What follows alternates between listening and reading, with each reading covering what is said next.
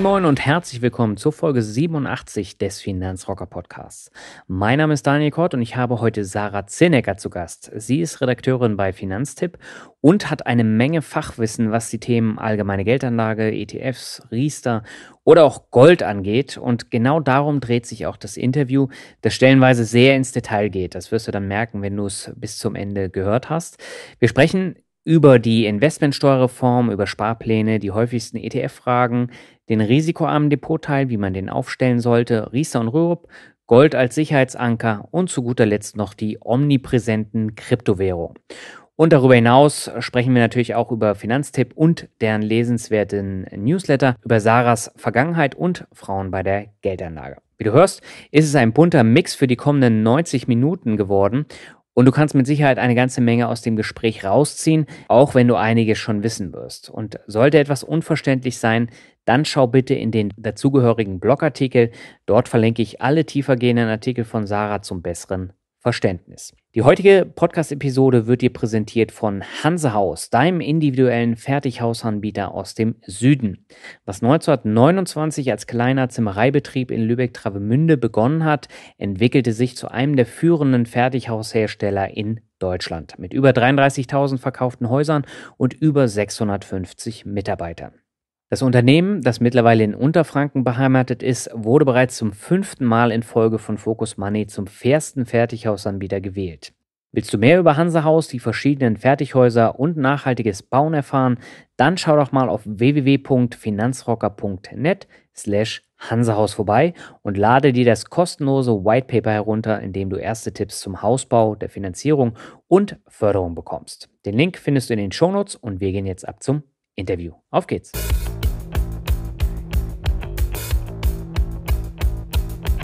Herzlich willkommen zum ersten Interview im Jahr 2018. Mit Sarah Zinnecker habe ich eine Wirtschaftsjournalistin von Finanztipp zu Gast, mit der ich über Geldanlage, Wirtschaft, Bitcoins und noch eine ganze Menge mehr sprechen möchte. Und erstmal ein herzliches Hallo nach Berlin und schön, dass du bei mir im Finanzrocker Podcast zu Gast bist, Sarah. Hallo Daniel, ich freue mich auch sehr und schöne Grüße zurück nach Lübeck. Sehr schön. Vielleicht magst du dich den Zuhörern und Zuhörerinnen mal ganz kurz vorstellen? Ja, sehr gerne. Also du hast ja gerade schon erwähnt, Finanzjournalistin, das ist mhm. richtig.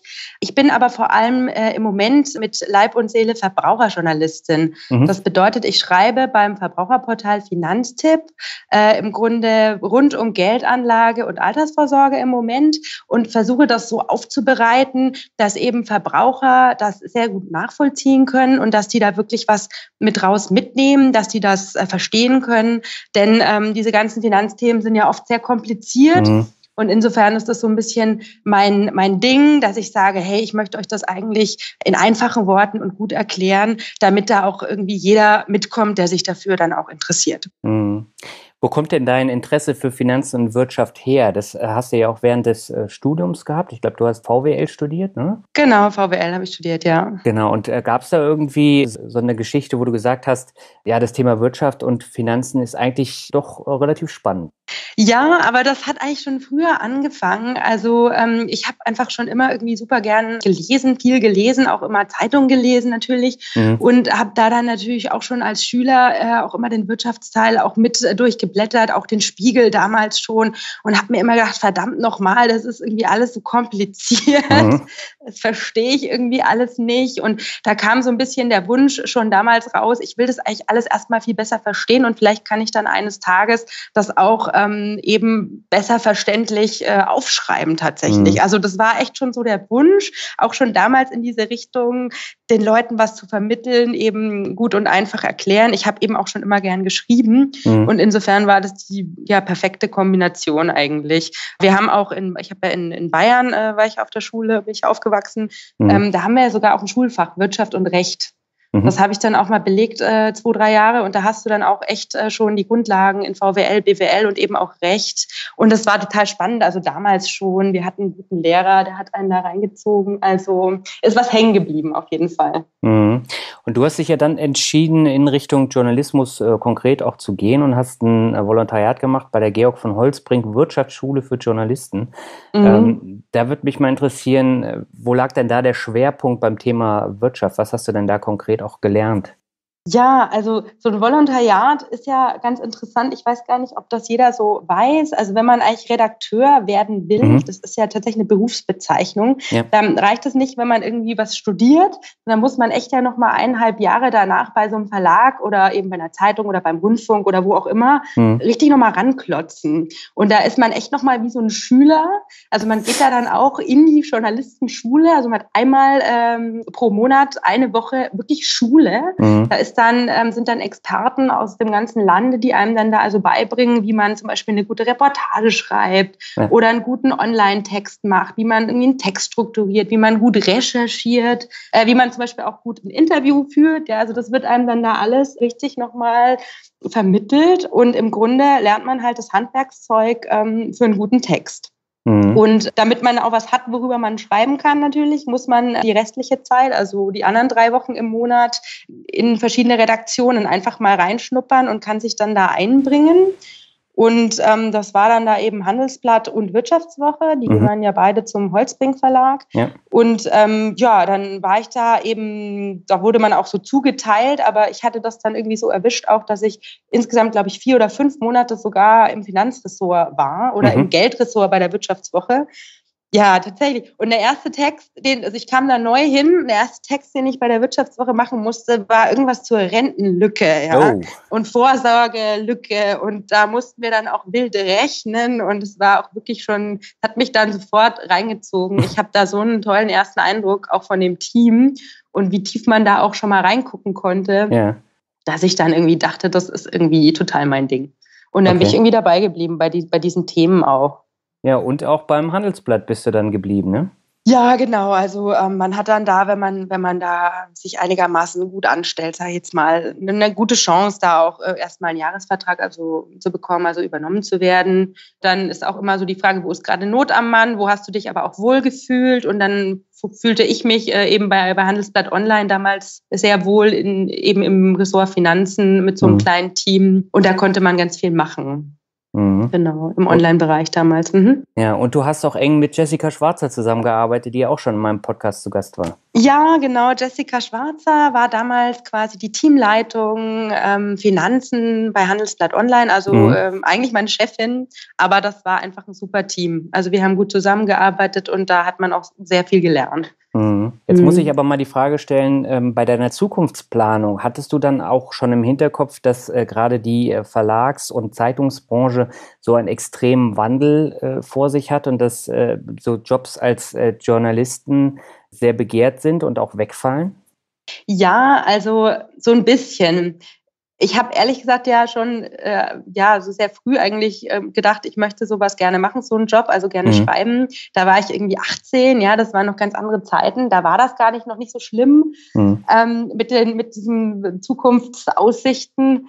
Und ähm, da habe ich damals tatsächlich mit der Süddeutschen, da hatte ich irgendeinen Kontakt, äh, habe ich gesagt, wie mache ich das jetzt am besten, dass mhm. ich hinterher einen guten Job kriege, und ähm, mir da keine Sorgen machen muss und sag mir jetzt, wie, wie ich will das unbedingt machen, wie kann ich das anstellen? Dann hat der mir einfach damals schon gesagt, du brauchst einfach deine Nische, du brauchst dein Thema. Mhm. Also studier nicht irgendwie Journalismus, irgendwas Breites, sondern spezialisier dich relativ früh, guck, was dich interessiert und dann versuch da dabei zu bleiben. Mhm. Und dann hast du eigentlich immer ganz äh, gute Aussichten, was zu kriegen, ähm, weil du dann ja auch gleichzeitig auch irgendwie Experte für das Thema bist. Mhm. Ja. Und wenn es dann vielleicht nicht irgendwann nicht mehr die Zeitung ist, dann kannst du ja immer noch publizieren. Du kannst ja auch freiberuflich arbeiten. Vielleicht kann man irgendwann mal lehren. Ja, also da gibt es ja viele Möglichkeiten. Und insofern habe ich mir eigentlich echt überhaupt keine Sorgen gemacht. Und die mache ich mir auch jetzt eigentlich nicht. Das sage ich jetzt einfach mal so. Okay. Wird schon schief gehen. Äh, du hattest genau. gesagt, beim äh, Handelsblatt äh, hast du auch äh, in der Online-Redaktion gearbeitet. Welche genau. Aufgaben und Themen hattest du da speziell? Ja, also das ging auch relativ schnell dann schon in Richtung Verbraucherthemen, mhm. Altersvorsorge tatsächlich, auch Versicherungen. Ich hatte da immer ja, zusammengearbeitet mit einem Kollegen, der hat mich relativ da immer an der Hand genommen und hat gesagt, diese Themen machst du mit, weil die, das sind auch die, die wirklich die Leser interessieren. Also mhm. Also die haben auch äh, damals dort schon immer sehr, sehr viele Klicks bekommen. Und ähm, es ist gleichzeitig ein, quasi eine gute Schule für dich, weil da musst du dich mit allem mal beschäftigen und danach kennst du dich wenigstens aus. Okay. Also da habe ich wirklich von der Haftpflichtversicherung über irgendwelche privaten Krankenversicherungen, über irgendwelche Riester-Verträge, ja, also alles querbeet äh, mal machen müssen und dann eben auch damals schon viele Kontakte knüpfen müssen, mit vielen Experten immer mhm. schon gesprochen. Das war einfach ein gutes Training. Genau, also das war schon immer dran. Und dann hatten wir damals noch diese Griechenland-Geschichte, ne? Griechenland ja. äh, kurz vor der Pleite, da ging es dann auch viel um diese äh, Sache Staatsschulden, Staatsanleihen. Also da war ich auch mittendrin. Das war natürlich dann auch sehr spannend. Und es war wirklich immer sehr abwechslungsreich. Mhm. Du bist jetzt seit fast genau zwei Jahren ähm, bei Finanztipp. Ähm, magst du vielleicht den Hörern mal das Finanztipp Verbraucherportal etwas näher vorstellen, weil es ja doch schon was anderes ist als jetzt ein Handelsblatt. Das ist äh, richtig, genau. Also es ist, wie gesagt, ein Verbraucherportal. Das Ganze ähm, findet sich im Internet, also mhm. ist komplett online. Also wir haben keine gedruckte Ausgabe oder irgendwie ja derartiges. Das äh, funktioniert im Grunde so, wir sind ein Team von Experten, von Redakteuren und mhm. wir konzipieren eben ausführliche Ratgeber, die dann kostenlos eben im Internet für jeden zur Verfügung stehen, der sich für ein bestimmtes Thema eben näher interessiert. Mhm. Und ähm, diese Ratgeber sind tatsächlich ähm, so konzipiert, dass sie eben da auch lange stehen können und die werden also laufend von uns aktualisiert. Aber es ist eben nicht so, dass da jetzt jeden Tag ein neuer Text auf die Seite muss. Mhm. Insofern habe ich eben den Vorteil, dass ich wirklich sehr, sehr tief und lange im Zweifel auch mal an bestimmten Fragen recherchieren kann, viel rechnen kann, viel diskutieren kann mit meinen Kollegen, so dass am Ende irgendwie ein gutes Gefühl rauskommt, okay, ich habe das wirklich verstanden, ich kann das jetzt aufschreiben. Mhm. Und klar, manchmal brauchst du irgendwie schnell was, ähm, weil gerade ein Thema hochkocht oder irgendwie du denkst, das ist jetzt in den nächsten zwei Wochen ändert sich ein Gesetz, du brauchst jetzt da den Text, dann machst du den erstmal, aber dann hast du jedes Mal ja noch die Möglichkeit, den äh, in Ruhe nachzuarbeiten. Mhm. Ähm, das sehe ich als ganz, ganz großes, sage ich jetzt mal, Glück. Also das äh, gefällt mir einfach sehr gut, weil da habe ich einfach das Gefühl, wie gesagt, das ist fundierter. Äh, es ist auch einfach ein bisschen stressfreier. Also ich arbeite eigentlich lieber so. also okay. als jetzt jeden Tag quasi von neuem ähm, äh, da eine Deadline jetzt zu haben. Aber das ist natürlich eine, eine Typfrage, klar. Mhm. Besonders hervorzuheben ist natürlich die Tatsache, dass ihr euch durch Affiliate-Links finanziert. Ja, das genau. Das ist, glaube ich, mhm. das ähm, Modell, was dahinter steckt. Und ihr habt ein Newsletter mit, ich glaube, 300.000 Abonnenten, also riesengroß. Und da habt ihr auch äh, interessante Tipps dann immer drin, wo man Geld sparen kann. Und darüber finanziert ihr euch in erster Linie, oder? Das Portal an sich, äh, ist das jetzt die Hauptquelle für die Finanzierung oder eher der Newsletter? Ähm, genau, also zunächst mal genau richtig. Also wir haben jetzt gerade 300.000 äh, Abonnenten, was uns halt sehr freut. Mhm. Ähm, das ist so, ähm, so ein Meilenstein gewesen. Also wir finanzieren uns über beide Wege, das Portal selber und jetzt eben auch in letzter Zeit zunehmend der Newsletter. Mhm. Das funktioniert über diese Affiliate-Links. Äh, das bedeutet, also du hast ja eigentlich im Online-Journalismus drei Möglichkeiten. Entweder du schaltest Werbung auf der Seite oder mhm. du machst äh, eine Bezahlschranke und kannst dir dann die, weiß ich nicht, PDFs runterladen, wenn du halt vorher irgendwie 3,50 dafür bezahlt hast. Mhm. Oder du verzichtest halt auf diese ganze Werbung. Und da musst du eben gucken, dann gibt's eben diese Affiliate, äh, dieses Modell der Affiliate-Links. Das bedeutet, die Redaktion, also im Zweifel ich, zusammen mit unserem wissenschaftlichen Leiter, analysiere, teste in, in allen Details ein bestimmtes Produkt Produkt, sagen wir mal irgendwie Wertpapierdepot, gucken wir das an nach Kriterien, äh, Verbraucherfreundlichkeit, äh, Kosten, alles Mögliche. Mhm dann äh, schreiben wir das dezidiert auf, wie wir vorgegangen sind und am Ende kommt dann vielleicht raus, von 15 Depotanbietern sind irgendwie drei in unserer Analyse irgendwie gut, weil mhm. sie eben günstig sind zum Beispiel oder eine verbraucherfreundliche Oberfläche haben, Benutzeroberfläche haben und gut zu benutzen sind.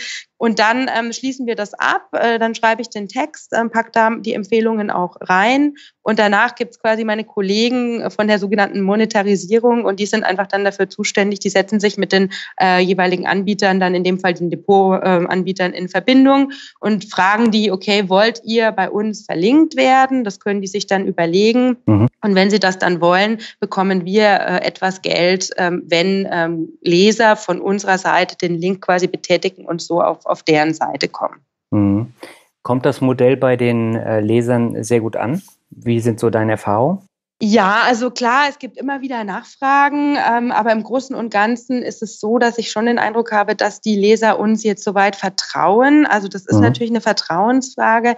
Ähm, wenn mich natürlich jemand direkt danach fragt, sage ich immer, ja, klar, kannst du hinterfragen, aber du kannst wirklich in jedem Text äh, dezidiert nachlesen, wie wir vorgegangen sind. Wir mhm. schreiben unter jedem Text einen eigenen Absatz, so haben wir getestet. Mhm. Da steht ganz genau eben, was für Kriterien wurden da jetzt angewandt? Was war die Grundgesamtheit? Wie haben wir rausgefiltert? Ja, und dann meinetwegen, wenn es irgendwie eine Punkteskala gab, wie wurde benotet und warum? Also du hast eigentlich als Leser die komplette Transparenz am Ende, dass du nachvollziehen kannst, wie wir auf unsere Empfehlungen kommen. Mhm. Und ähm, ich sehe eigentlich den Weg dann äh, darüber. Also du du, wir, ich äh, als Finanztipp-Redakteur, ja. wir müssen äh, sehr genau einfach darlegen, aufschreiben, den Leuten klar machen, wie wir vorgehen. Und ich denke, da äh, entwickelt sich dann auch ein Vertrauen daraus. Und darauf mhm. setzen wir. Ne? Mhm. Ja, das Vertrauen ist ja auch das wichtigste Gut, was du im Internet hast. Und ich habe ja häufiger auch Diskussionen, wenn es so um das Thema Affiliate-Links geht. Und mhm. ähm, mir ist es eben auch wichtig, dass ich meine eigenen Erfahrungen wiedergeben kann, so wie ihr mit euren Tests ja eben auch. Genau. Und äh, da kann ich halt ganz anders drüber schreiben, als wenn ich dann irgendwie so ein buntes Potpourri an Empfehlungen für ähm, Depotanbieter oder für Peer-to-Peer-Anbieter oder was auch immer dann geben kann. Genau, genau. Und also was natürlich auch noch ähm, eine Rolle spielt, was hast du eigentlich dahinter stehen für ein Geschäftsmodell? Mhm. Und das lass mich bitte kurz noch sagen. Also wir sind als Finanztipp ist eben gemeinnützig. Wir haben kein, keine Gewinn, wie man immer sagt, Gewinnerzielungsabsicht. Also mhm. das finanzielle Ziel ist eigentlich einfach nur die Kosten zu decken. Und wenn wir ein bisschen Gewinne machen, dann finanzieren wir quasi neue Mitarbeiter, was ich sehr befürworte. Ja. Dann kriege ich nämlich vielleicht mittelfristig mal ein bisschen Unterstützung. Ähm, Im Moment ist das Redaktion Redaktionsteam mit zehn Leuten doch sehr, sehr klein. Mhm. Ja. Ja, dein, äh, dein Chef, das ist ja Hermann Josef Tenhagen, den wird wahrscheinlich der eine oder andere auch aus dem Fernsehen kennen oder auch von, von NTV, ähm, jetzt auch in der App, ist er immer wieder als Experte und äh, erzählt da was über Geldanlage und gibt diverse Tipps. Und der war früher, glaube ich, bei Finanztest, ne? Ja, der war Chefredakteur 15 Jahre lang bei Finanztest, richtig. Mhm. Und äh, er hat sich ja dann mit Finanztipp äh, selbstständig gemacht und äh, das war dann auch eine riesengroße Erfolgsstory, jetzt wenn man so die Jahre zurückblickt. Ja, er hat sich damals irgendwie entschieden, nochmal was Neues zu machen. Und genau, Hermann ist jetzt so unser Gesicht nach außen. Mhm. Er ist natürlich auch ähm, so lange im Geschäft und kennt sich wirklich so gut aus, ja. dass es auch für mich oder für die Kollegen einfach toll ist, mit ihm zu arbeiten, mhm. ähm, weil man auch so viel äh, immer noch lernen kann. Aber ja, das ist total sein Ding. Also er ist einfach ähm, auch ganz leidenschaftlich dabei, auf allen Kanälen ähm, den Menschen da draußen zu erklären oder erzählen, wie sie äh, besser mit ihren Finanzen umgehen können, wie sie vielleicht 100 Euro hier oder da nochmal sparen können, wo sie eben auch im Zweifel aufpassen müssen bei mhm. bestimmten Produkten. Ja, das ist ähm, ja, das ist äh, unser Frontmann, der Hermann, genau. okay. Magst du vielleicht nochmal erzählen, welche Bereiche jetzt in deinem Tätigkeitsfeld sind? Worüber schreibst du hauptsächlich? Genau, also offiziell ähm, nennt sich das äh, Redakteurin im Bereich äh, Bankprodukte. Ist mhm. sehr ähm, vielleicht etwas nicht ganz so griffig. Also es geht dann um Geldanlage tatsächlich, also private Geldanlage und auch ähm, die private Altersvorsorge im mhm. Moment bei mir. Zwischendurch habe ich immer mal noch so auch Kredit etwas mitgemacht, mhm. aber das teilen wir uns immer ein bisschen auf. Äh, insofern, und bei der Geldanlage dann eben vor allem die hm, Geldanlagestrategie, also grundsätzlich, wie muss ich eigentlich vorgehen, dann eben im Bereich Aktienanlage, dann vor allem eben die ETFs, also die kostengünstigen Indexfonds, äh, die mhm. an der Börse gehandelt werden und ähm, dann eben auch die ganzen Depotanbieter, ne? weil das ist ja klar, ja. also ich muss ja den ETF dann auch irgendwo kaufen. Da war ich auch äh, sehr weit drin, weil das hat mich dann auch irgendwann selber interessiert. Also hast dann irgendwie meinetwegen fünf, sechs Depotanbieter, die findest du irgendwie alle ganz gut, die haben die Kriterien alle erfüllt. Mhm. Aber trotzdem ist ja jeder anders. Also die haben alle eine komplett andere Benutzeroberfläche und dann willst du es eigentlich alles ausprobieren. Ne? Und dann mhm war ich schon kurz davor, sechs Depots zu eröffnen. Das musste ich dann aber doch nicht machen. Also wir haben dann mit den Anbietern insoweit kooperiert, dass die mir dann minutiös mit Screenshots alles geschickt haben, sodass ich am Ende sogar bei den Depots eben auch eine Benutzeroberfläche, Benutzerfreundlichkeit ähm, beurteilen konnte. Mhm. ähm, was ich eben persönlich einfach total praktisch finde, ja. Mhm. Also jetzt können wir halt unseren Lesern nicht nur sagen, kauf den ETF, sondern kauf ihn auch noch vielleicht da, dort ist dieses und jenes besser oder überleg dir, kannst auch dahin gehen, aber da hast du wieder andere Vor- und Nachteile. Mhm. Genau. Und ja, bei der Altersvorsorge, ja, ist es so, erst, da geht es eigentlich erstmal darum, den Leuten ähm, zu erklären, dass es einfach notwendig ist, was zu tun.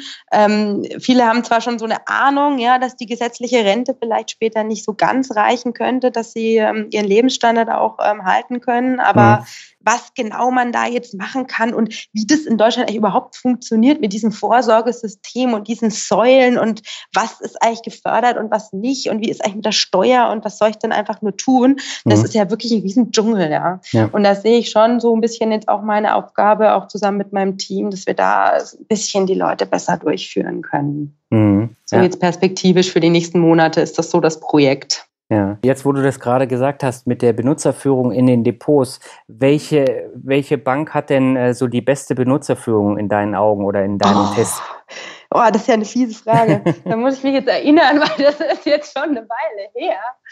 Äh, lass mich mal überlegen. Also ich glaube tatsächlich, dass OnVista Bank ganz gut vorne lag. Ähm, Flatex, ähm, was die Benutzerführung angeht, auch, wobei die haben dann wieder andere Nachteile. Mhm. Und tatsächlich die Online-Banken, also die man eben dann so kennt, ähm, äh, die, die haben meistens das irgendwie alles ein bisschen komplizierter. Mhm. Aber äh, die sind natürlich jetzt auch nicht nur auf diesen Wertpapier, äh, Wertpapierhandel spezialisiert. Ne? Die haben ja eine komplette, einen kompletten Internetauftritt auch mit irgendwie Girokonto noch dabei und allen ja. möglichen anderen. Während ja so ein Broker jetzt wie die Unvista Bank oder was, die hat ja dann nur im Grunde ihre, ihren Auftritt nur für den Wertpapierhandel. Mhm. Also könnte auch eine Ressourcenfrage sein, das weiß ich aber nicht. Mhm. Ja. Ein besonderer Schwerpunkt, der liegt ja tatsächlich bei dir auf den ETFs. Darüber bin ich auch auf dich aufmerksam geworden und wollte dich unbedingt äh, in meinen Podcast auch einladen. Das ist jetzt circa ein ja. Jahr her, glaube ich. Ich hatte das dir damals eine, eine, Mitteilung ähm, geschickt, die irgendwie nicht so ganz ankam. Und dann haben wir uns kennengelernt auf dem Finanzbarcamp, wo du auch eine Session gehalten hast zum Thema ETFs. Und äh, da habe ich eben auch gemerkt, wie gut du dich in diesem Bereich auskennst und ein weiterer Vorteil ist, dass du einen direkten Draht zu ETF-Anbietern hast, wie jetzt Comstage oder iShares, mit denen du dich dann auch äh, relativ häufig auch austauscht. Was sind denn so die häufigsten Fragen, die du beziehungsweise äh, auch das Finanztipp-Team zum Thema ETFs äh, erhaltet? Die wir jetzt erhalten, mhm. ähm, oder die ich jetzt quasi bespreche, wenn ich mit den ETF-Anbietern sprechen darf oder sprechen kann. Ja, sowohl als auch. Nochmal so ein bisschen zwei ja. unterschiedliche Paar Schuhe. Ähm, genau, also kurz vielleicht zu diesen, zu diesen Kontakten zu den ETF-Anbietern. Mhm. Also grundsätzlich spreche ich natürlich mit Anbietern, ich spreche aber auch natürlich mit vielen anderen unabhängigen Experten. Also mhm. ich versuche mir einfach immer eine breite Basis zu schaffen von, von Kenntnissen, die ich dann erstmal aufnehme, Informationen sammle, erstmal für mich, weil es natürlich auch als Redakteur total wichtig ist, dass du ganz genau verstehst, worüber schreibst du? Mhm. Und dann ähm, verstehst und willst es auch im Detail verstehen. Dann schreibst du vielleicht gar nicht alles auf von dem, was du eigentlich weißt, aber dann bist du immer gewappnet, auch wenn mal eine Rückfrage kommt und du kannst einfach das ganze Konstrukt oder Vehikel jetzt in dem Fall ETFs äh, besser einschätzen. Also mhm. ich fühle mich dann damit wohler. Und diesen Kontakt zu den ETF-Anbietern tatsächlich, Comstage, iShares, das ist äh, insofern halt klasse, wenn man wirklich mal so ganz detaillierte Fragen hat. Also äh, keine Ahnung, zum Beispiel, wie genau funktioniert jetzt eigentlich so ein synthetischer ETF und mhm. was steckt jetzt genau in diesem Trägerportfolio und wie sprecht ihr euch eigentlich dann da ab mit eurer Swap-Bank, äh, quasi Partnerbank? Ähm, wie, das, wie muss der Swap genau aussehen? Wie viel mhm. kostet eigentlich so ein Swap? Ja, also wie viel macht es dann wieder aus an den Gesamtkosten von diesem ETF? Einfach nur, das sind also für den, für den, ähm, sag ich jetzt mal, Leser vielleicht dann eigentlich Fragen, das interessiert den jetzt erstmal gar nicht. Mhm. Aber ich habe zum meinen, also für mich, äh, mir bringt das was, um einfach einzuschätzen, was halte ich von so einem synthetischen ETF? Habe ich wirklich verstanden, wie der jetzt funktioniert und kann ich den guten Gewissens auch quasi empfehlen? Mhm. Genau. Also da, äh, und da gibt es immer wieder kleinere Fragen. Also es taucht immer wieder was auf, wo ich dann mich wieder frage, Mensch, wie ist das jetzt eigentlich Wertpapierleihe? War mal so ein Thema Absicherung von ETFs bei Pleiten, Risiken von ETFs. Wie entsteht eigentlich ein neuer ETF-Anteil? Also mhm. wie funktioniert eigentlich dieses Creation, Redemption, also aus, ausgeben und wieder einstampfen äh, von ETF-Anteilen? Ne? Mhm. Oder welche Rolle haben diese Market Maker an der Börse eigentlich, die so zwischengeschaltet sind zwischen dem Anleger und dem ETF-Anbieter? Mhm. Also das wären jetzt eher so Fragen, die ich dann wirklich mit den Experten mir, mir natürlich, äh, die muss ich mir erklären lassen.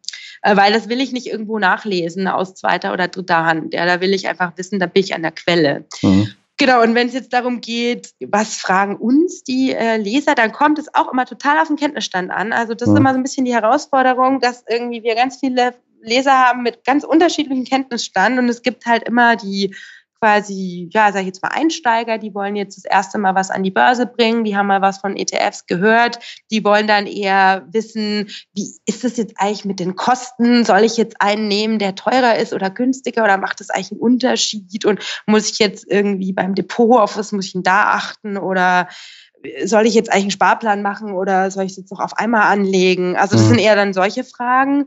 Und die, die sich schon ein bisschen besser auskennen, die fragen dann wirklich eher so schon nach, also genau, wie funktioniert so ein synthetischer ETF? Was ist das mit diesem Swap? Was soll das eigentlich? Ist das denn sicher? Mhm.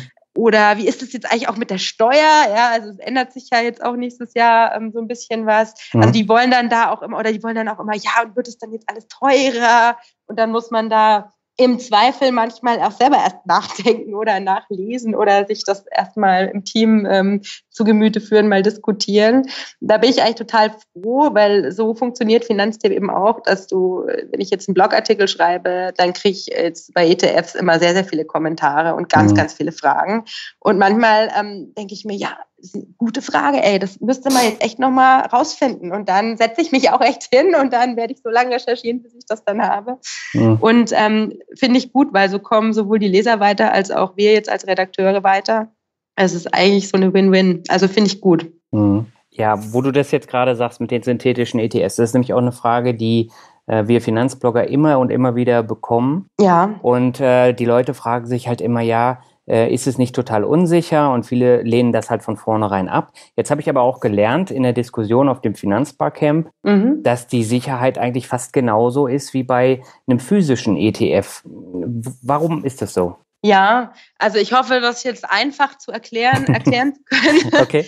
Aber sagen wir es einfach mal so. Also ein synthetischer ETF funktioniert im Grunde so, dass der ETF-Anbieter selber gar nicht ähm, die Aktien einkauft, die eigentlich in dem Index stecken, mhm. den der ETF abbilden soll. Zum Beispiel beim MSCI World kauft jetzt nicht der ETF-Anbieter 1600 Aktien, sondern er kauft vielleicht irgendwie 30 und das sind die größten Aktien irgendwie meinetwegen ja, wichtigsten Europas oder so oder hat meinetwegen auch ein DAX-Portfolio. Mhm. Und den eigentlichen ähm, Wert des Index den bildet eine Bank für ihn ab. Das ist quasi sein Tauschpartner. Mhm. Und was der ETF-Anbieter macht, der geht quasi ein Tauschgeschäft ein und er sagt, hier Bank, ich gebe dir das, was in meinem Portfolio, das nennt sich Trägerportfolio, die 30 Aktien, was da drin ist an Wert, das garantiere ich dir. Mhm. Und du garantierst mir dafür im Gegenzug die Wertentwicklung von diesem von diesem Index, auf den mhm. mein ETF läuft. Wie du das genau machst, interessiert mich nicht. Also ist vereinfacht gesagt. Ja. Ich will einfach von dir garantiert diese Wertentwicklung haben.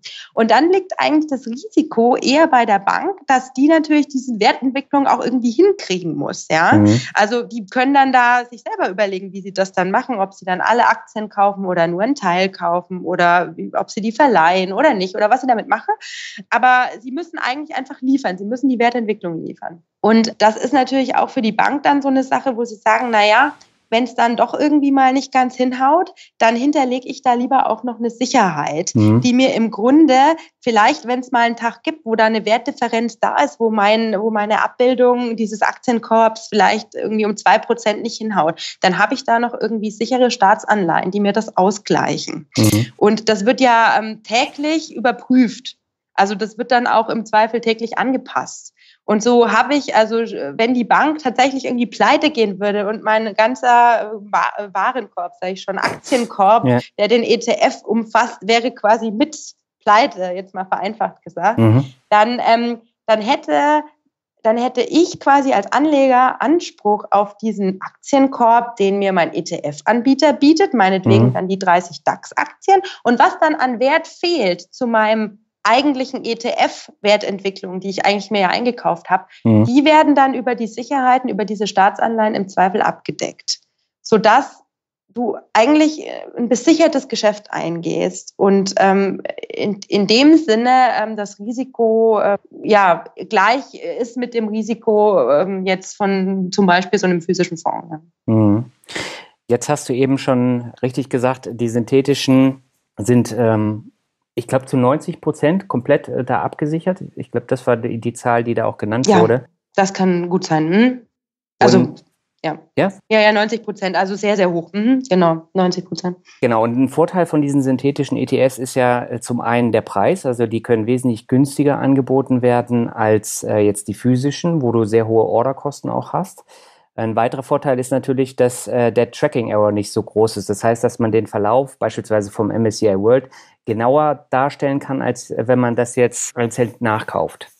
Ja, also das ist sowas, was man dann auch immer liest und hört und mhm. so. Aber wir haben jetzt für uns jetzt Finanztipp die Analyse, wir sind eigentlich anders rangegangen. Okay. Wir haben gesagt, also es ist ja auch keinem Anleger eigentlich zuzumuten, jetzt mal ganz praktisch, mhm. ähm, sich jetzt jedes Mal Gedanken zu machen, was ist das jetzt eigentlich, ist das jetzt synthetisch oder physisch und also wie genau war denn jetzt da die Wertentwicklung, wie bildet er das denn jetzt ab, wie teuer mhm. ist denn der? Dann ist nämlich der Anleger wieder überfordert und hat wieder am Ende kann sich nicht entscheiden und macht im Zweifel gar nichts. Und das wäre ja quasi das Schlimmste. Ja? Also mhm. Wir wollen ja eigentlich die Leute dazu bringen, dass sie sich trauen, mit kleinen Beträgen in diese breit gestreuten ETFs eigentlich erstmal anzufangen. Mhm. Und ähm, was wir uns eigentlich angucken und was ja eigentlich interessiert, ist Wertentwicklung nach Kosten. Mhm. Also natürlich sind die synthetischen ein bisschen günstiger und die physischen vielleicht manchmal ein bisschen teurer, weil die da mehr, ähm, mehr Arbeit, sei jetzt mal, damit haben. Ja. Aber ähm, auch physische ähm, ETFs haben noch Möglichkeiten, ein bisschen Rendite gut zu machen, indem sie eben zum Beispiel Wertpapiere verleihen. Mhm. Also jeder ETF-Anbieter macht das ein bisschen anders und jeder ETF-Anbieter, äh, weiß ich nicht, so ein synthetischer Fonds hat vielleicht einen guten Deal mit seinem Swap-Partner gemacht im einen Jahr. Klappt mhm. gut. Im nächsten Jahr ist der Deal vielleicht nicht ganz so gut. Also äh,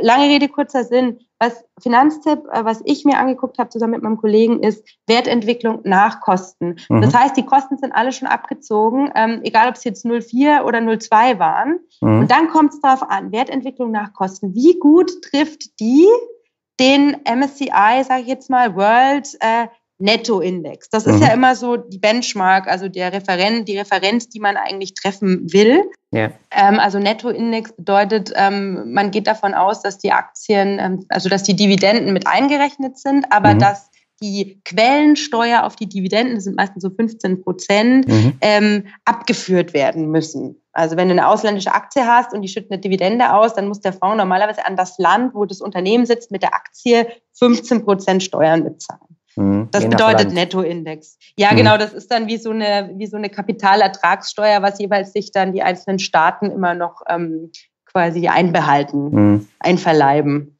Ja.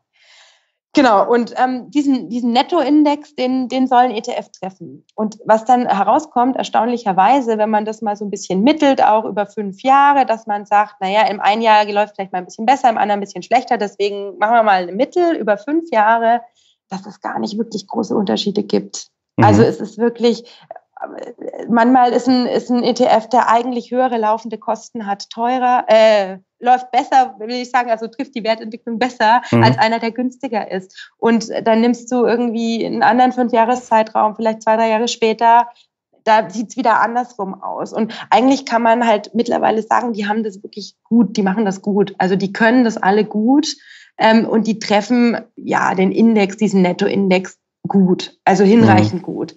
Also klar, ich habe in diesem Jahr jetzt gesehen, ich glaube, bei den MSCI Worlds gab es ja, gab es, glaube ich, einen oder so, der war sogar ein bisschen besser als der Nettoindex und die anderen waren so ein bisschen drunter. Mhm. Aber es, man weiß es halt auch einfach vorher nicht. Also du kannst nicht sagen, der ist immer besser, weil der ist günstiger, mhm. zum Beispiel. Das, das haut irgendwie nicht hin. Mhm. Ja, das ist ein wichtiger Hinweis.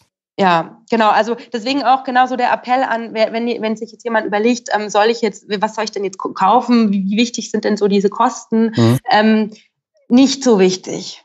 guck dir lieber an, kriege ich den günstig in meinem Depot? Ja, mhm. kost, was kostet mich das eigentlich, den zu kaufen? Oder will ich eigentlich Dividenden haben? Soll der die ausschütten? Oder will ich eigentlich, dass der die mit wieder anlegt im Fondsvermögen, damit sich das irgendwie verzinst, sage ich jetzt mal. Ne? Also, mhm. dass man schneller Vermögen aufbaut.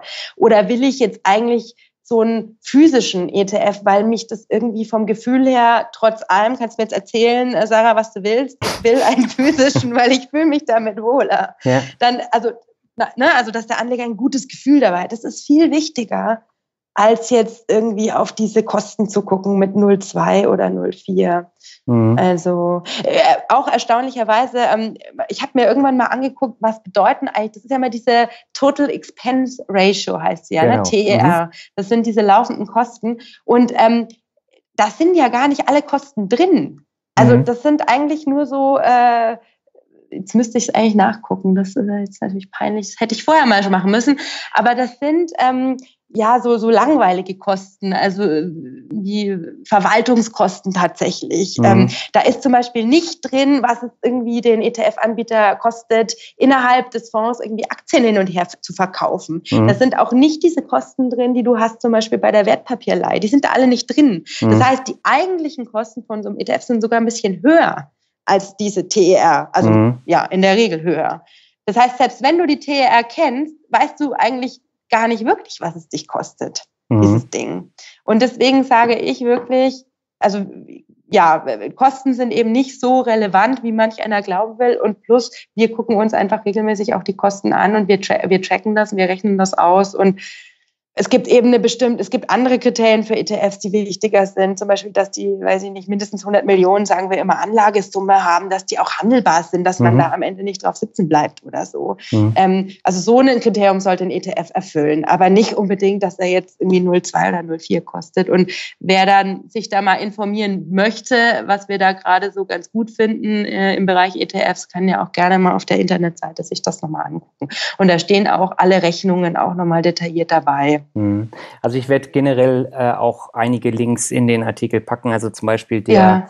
ähm, Artikel über den MSCI World, der ist von euch äh, so klasse. Also den packe ich auf jeden Fall nochmal rein. Und okay. ähm, da würde ich einfach den Hörern und Hörerinnen sagen, äh, schaut in den Blogartikel, da findet ihr alle wichtigen Links. Genau, das genau. genau. Machst du dann einfach, äh, wie es am besten passt. Genau. Okay. Wo wir jetzt gerade über das Thema Kosten schon mal gesprochen haben, neben mhm. der TER hat man natürlich auch noch Depotkosten. Und zwar, wenn man einen kostenpflichtigen Sparplan aufsetzt. Und es gab ja jetzt in den vergangenen Monaten äh, ziemlich äh, große Diskussionen, weil Comstage gesagt hat, wir wollen nicht mehr kostenlos über die Sparpläne äh, angeboten werden bei Consorsbank und bei äh, Comdirect, weil das mhm. die beiden größten sind und weil das natürlich immense Kosten auch verursacht weil äh, auch Comstage muss, muss natürlich kostendeckend arbeiten. Jetzt muss ich aber als äh, normaler Anleger trotzdem schauen, zahle ich jetzt diese 1,5 Prozent oder mehr ähm, eventuell oder habe ich andere Möglichkeiten, um diese Kosten dann zu sparen? Und da hattest du auch einen Artikel drüber geschrieben, oder? Da habe ich genau so einen Blogbeitrag geschrieben. Der Blog läuft ja immer so ein bisschen parallel zur Internetseite, mhm. wo wir versuchen, so aktuelle Themen aufzubearbeiten, aufzuarbeiten oder aufzugreifen. Äh, genau, in dem Falle jetzt eben diese Umstellung ähm, auf die auf kostenpflichtige Comstage ähm, ETFs im Sparplan bei den genannten Banken. Ja, also was kann da jetzt ein Anleger machen? Da muss man jetzt sagen, das ist ja auch wieder einfach so eine Typsache. Also wenn man jetzt bequem sein will und mhm. eigentlich gar keinen Bock hat, da muss man halt die Kröte schlucken und da muss man halt zahlen.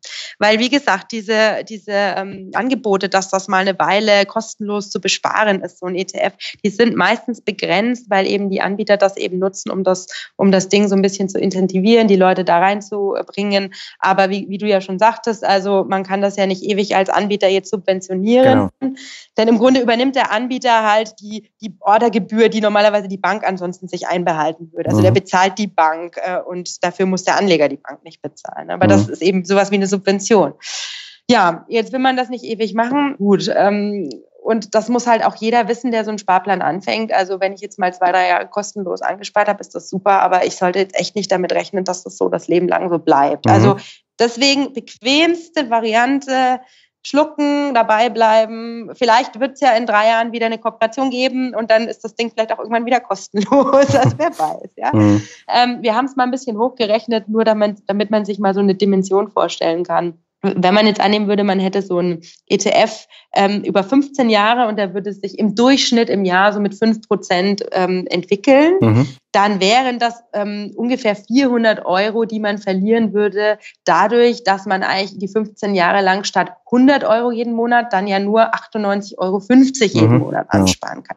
Also 400 Euro. Dann sagt der eine natürlich, das geht ja gar nicht. Mhm. Und der andere sagt, ja, komm jetzt, 400 Euro. Pff, ist jetzt zu verschmerzen, ist es mir wert, dass ich mich nicht drum kümmern muss. Mhm. So, jetzt kann man, das ist so die erste Gruppe. Die zweite Gruppe sagt, ja, ein bisschen Arbeit würde ich mir schon machen, aber nicht zu viel.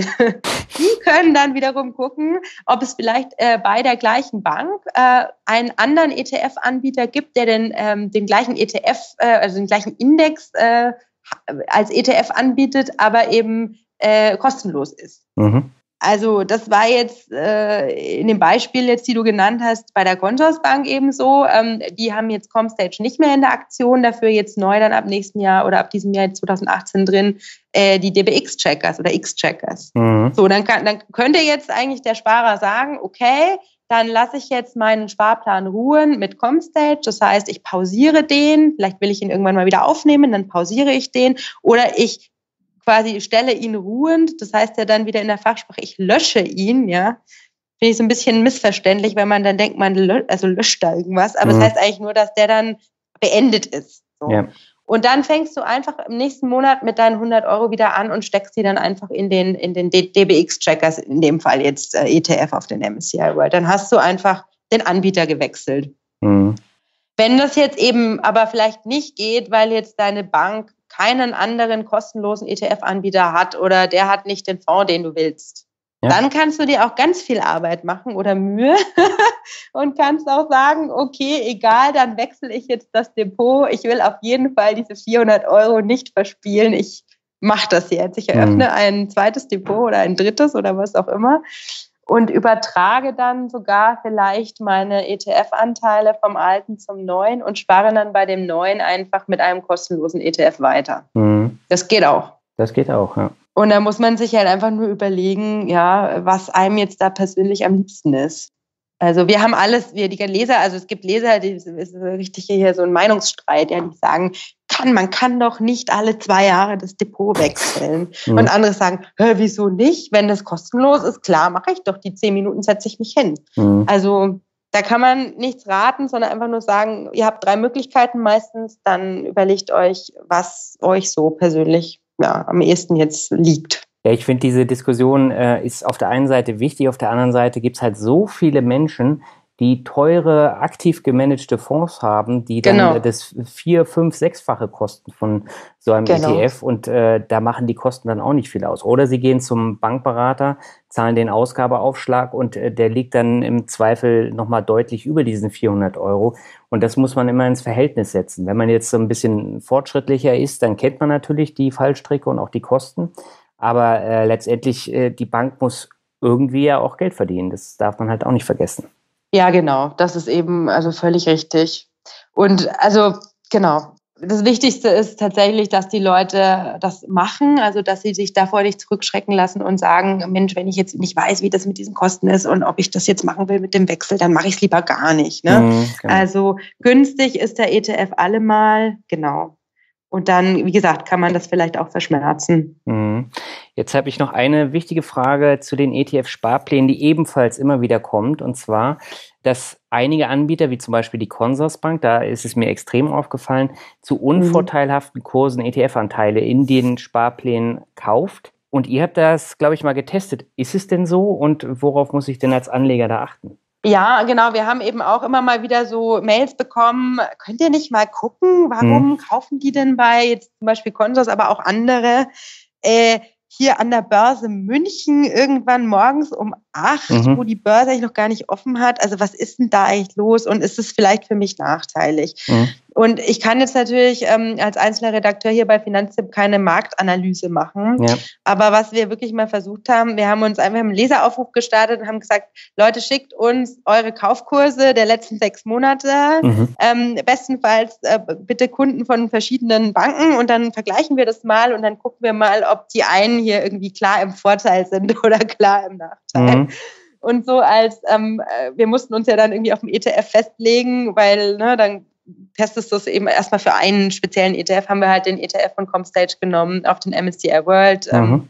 Den haben einfach viele. Äh, und genau, dann haben da die Leser echt super mitgemacht. Also ich glaube, wir haben über 300 Rückmeldungen bekommen, mhm. 200 oder 300, also es war genug.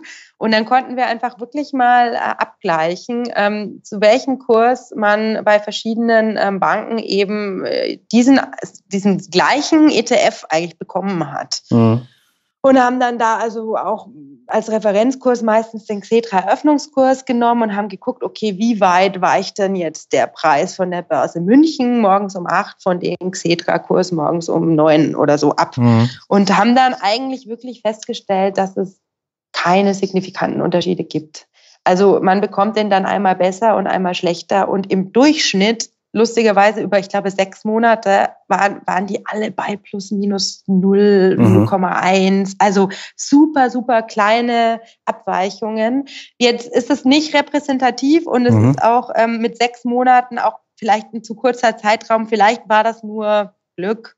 Aber ähm, ist vielleicht dann, ja, also wir würden schon sagen, das ist eine Art Indikator, dass es, dass es passt. Wer ähm, jetzt da trotzdem nicht so ganz so davon überzeugt ist, ähm, da kann man halt dann eigentlich nur sagen, wann könnte ich denn mit dem fairsten Preis rechnen? Mhm.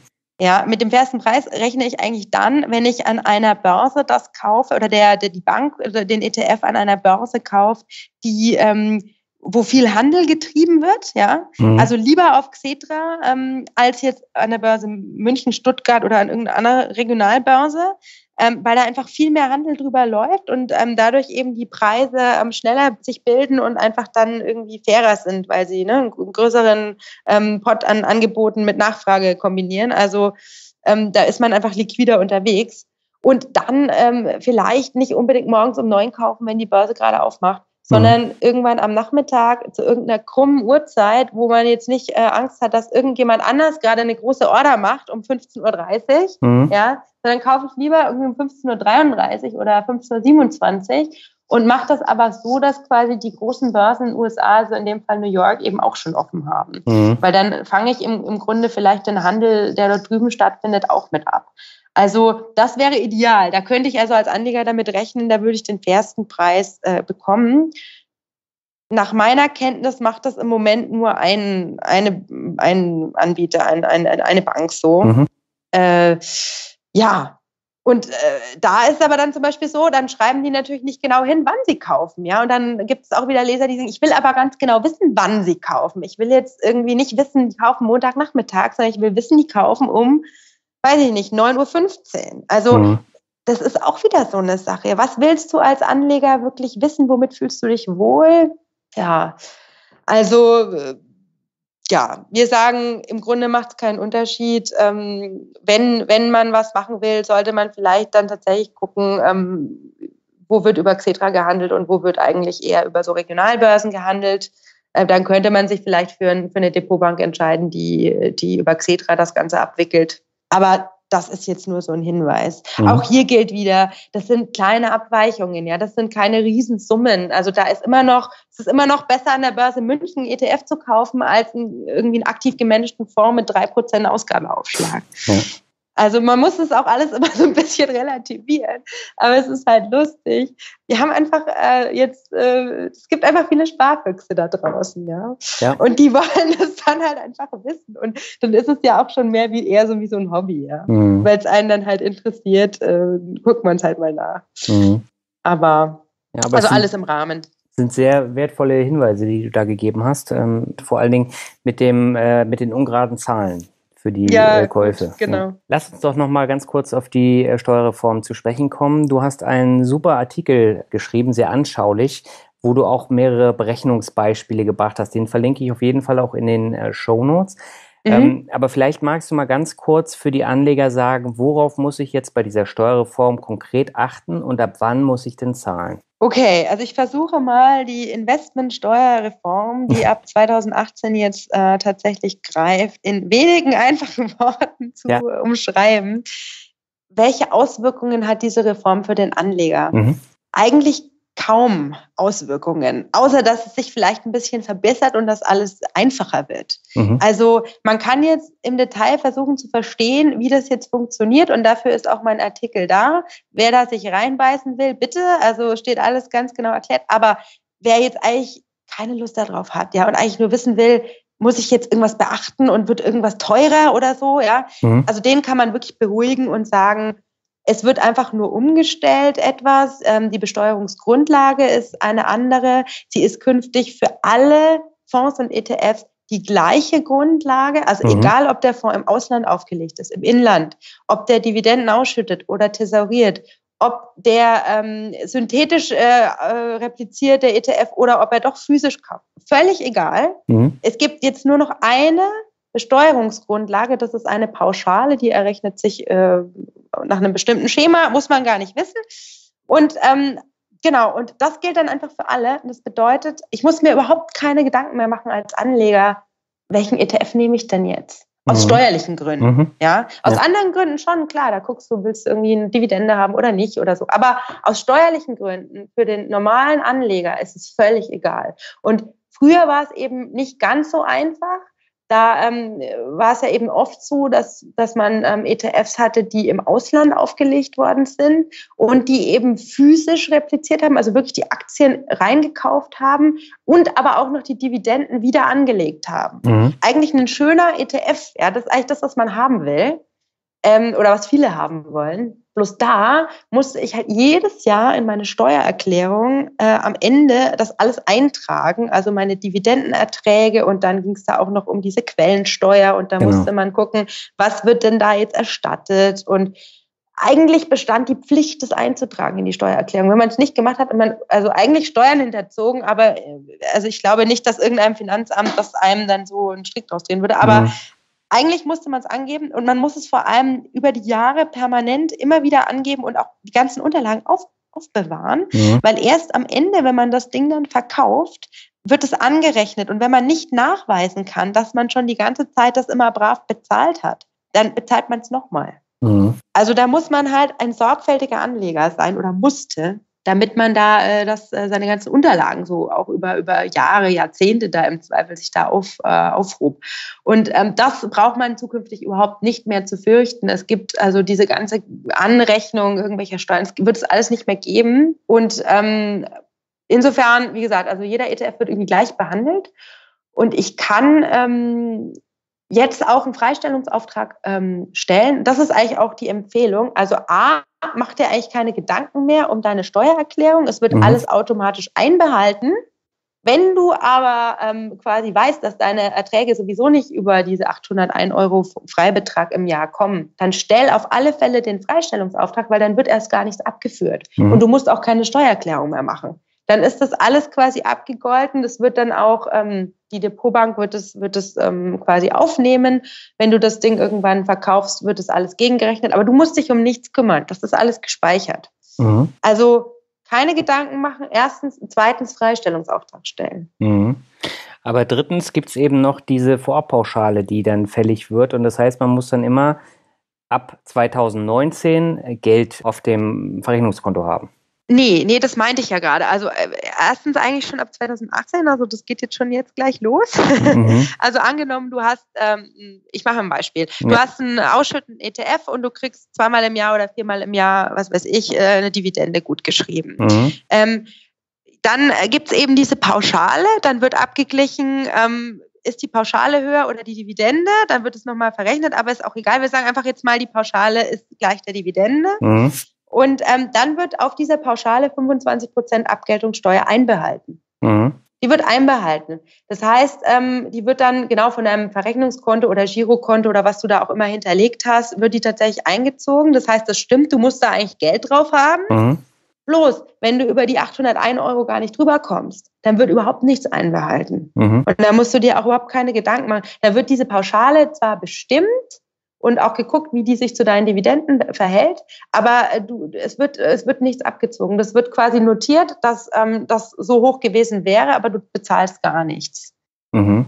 Deswegen wirklich, also keine Sorge. Und ansonsten ist es äh, auch so, wenn sich jetzt einer Sorgen macht, mein Gott, ich müsste das jetzt bezahlen, aber ich habe jetzt irgendwie nicht dran gedacht und mein Verrechnungskonto war leer. Mhm. Und jetzt ist das Finanzamt und will von mir 50 Euro und das war jetzt nicht drauf.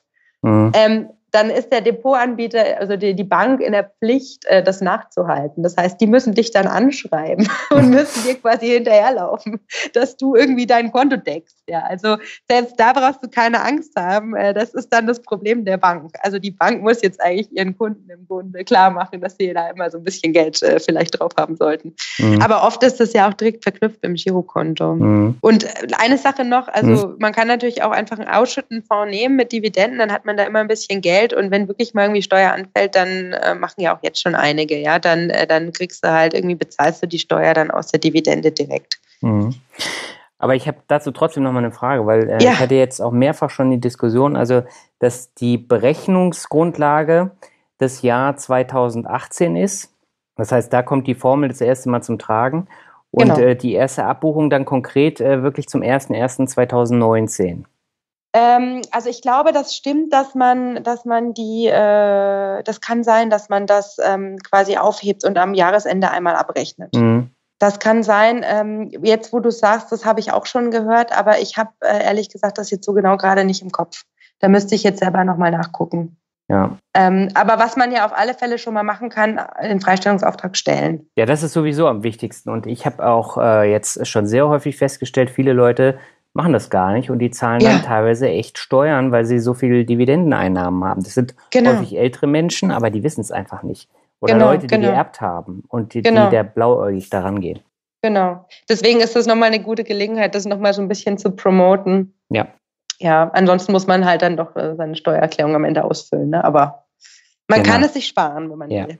Dann genau. lass uns nochmal zum risikoarmen Teil des Portfolios kommen. Ähm, mhm. Das ist ja auch ein Thema, mit dem du dich häufig beschäftigst. Also wir haben äh, Tagesgeld und Festgeld. Aber viele Deutsche denken natürlich auch ähm, dran, äh, Gold als Sicherheitsanker vorzuhalten. Wie würdest du denn sagen, worauf muss ich denn achten bei der Aufstellung von dem risikoarmen Teil? Ja, also ähm, es soll ja einfach eine sichere Anlage sein. Also mhm. darum geht es ja. Also man will ja quasi irgendwelche Risiken, was jetzt Kursschwankungen angeht, ja beim sicheren ähm, Portfoliobestandteil gerade vermeiden. Und dann ist es eigentlich ganz einfach. Man muss sich überlegen, welche, welche Möglichkeiten der Anlage gibt es denn, die einfach Wertschwankungen mehr oder weniger einschränken, so gut es eben geht.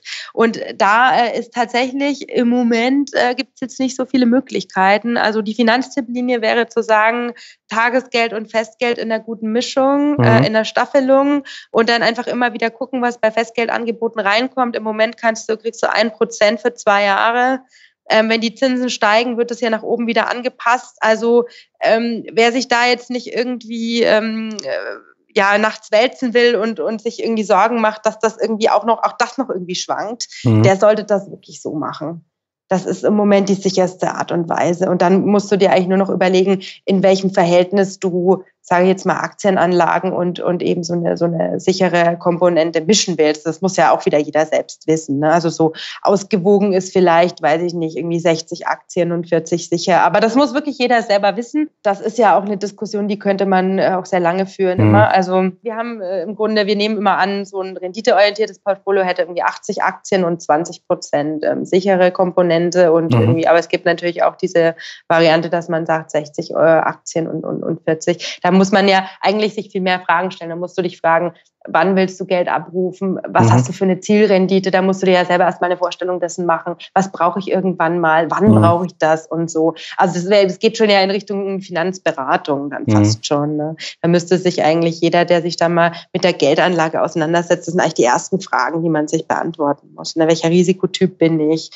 Wie viel Geld brauche ich? Wann mhm. brauche ich das? Also insofern, ähm, genau, gibt es ansonsten, ja klar, Gold hast du gesagt. Ja. Ähm, also bei Gold ist es so. wir, wir haben auch da wieder gerechnet und mal äh, ein bisschen uns ähm, Renditeentwicklung angeguckt im Vergleich zu auch zu einer, einer Schwankungsanfälligkeit von Gold. Mhm. Und daraus den Schluss gezogen, dass als langfristige Geldanlage Gold sich wirklich nicht eignet, mhm. denn es über die letzten äh, jetzt 42 Jahren, wie seit 1975, wenn man das bis heute mal äh, verfolgt hat und irgendwie so ein Weltaktienindex gegen so einen Goldpreischart äh, irgendwie hält, mhm. dann ähm, hätte äh, ja der, der, die, die Aktien so, so eine Jahresdurchschnittsrendite von ungefähr 8 Prozent äh, doch erreicht und ähm, so ein Gold eben ungefähr nur vier, also die Hälfte pro mhm. Jahr im Schnitt. Und ähm, hätte aber stärker geschwankt als dieser, als dieser Aktienindex. Also das ist so immer, ne, wenn man sich fragt, äh, Geldanlage ja oder nein, dann sind das immer so die Argumente, dass man sagt, ja eher nicht. Bist du mit Aktien eigentlich besser gefahren? Und dann ist natürlich Gold an sich, was ist eigentlich Gold? Ja, Gold ist eigentlich so eine Art, also man sagt ja immer Krisenwährung. Also genau es gibt Leute, die einfach wirklich ähm, Angst haben, mhm. dass äh, die Währung irgendwann nichts mehr wert ist, dass wir eine Hyperinflation kriegen, dass die Zentralbank, weiß ich nicht, äh, ihren Job nicht mehr gut macht und das irgendwie alles dann niedergeht. Und mhm. die wollen einfach wissen, dass sie so eine Wertsicherungskomponente, äh, und die ist dann eben auch physisch, ja, ja, bei sich zu Hause irgendwo haben. Und dann, in dem Fall, kann man sagen, okay, dann kauf dir äh, physisches Gold und lege es dir zu Hause in den Tresor oder ins Bankschließfach, dann schläfst du besser. Und du kannst es gerne auch beimischen, aber nicht mit dem Ziel, daraus eine bestimmte Rendite abzuleiten, die dann mhm. am Ende auf dein Gesamtportfolio irgendwie einzahlt, ja, sondern wirklich nur als Beruhigung. Mhm. Oder für dich eben genau, also dass du dich besser fühlst. Dann kannst du das machen. Aber eben als Anlage nicht. Mhm. Ja, das ist ein sehr interessanter Aspekt. Dann lass uns doch noch mal kurz über die geförderte und betriebliche Altersvorsorge sprechen, weil da erlebe ich das auch immer wieder, dass viele Leute gerade Riester oder Rürup abgeschlossen haben und mhm. ähm, ziemlich unsicher sind, äh, ob sie jetzt es weiter besparen sollen und äh, ob sie nicht stattdessen lieber äh, eigenständig Geld anlegen sollten.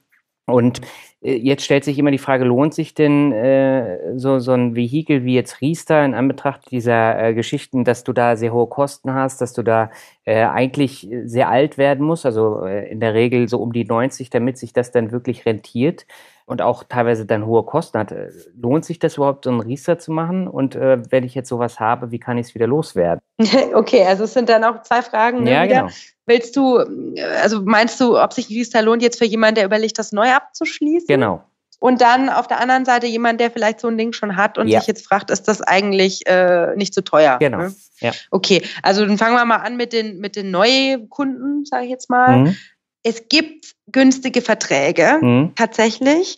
Ähm, man muss sie nur finden und man muss sie kennen. Und die allermeisten sind nicht günstig. Mhm, genau. Das heißt, erste Bürgerpflicht, informieren äh, bei uns oder auch bei anderen ähm, äh, guten, sage ich jetzt mal, Seiten, Verbraucherseiten, welche Verträge sind denn günstig? Und man kann das mittlerweile super gut nachprüfen, denn es ist vorgeschrieben seit äh, Anfang 2017, dass diese geförderten Altersvorsorgeprodukte, die Anbieter, die müssen ein mhm. sogenanntes Produktinformationsblatt zur Verfügung stellen. Ja.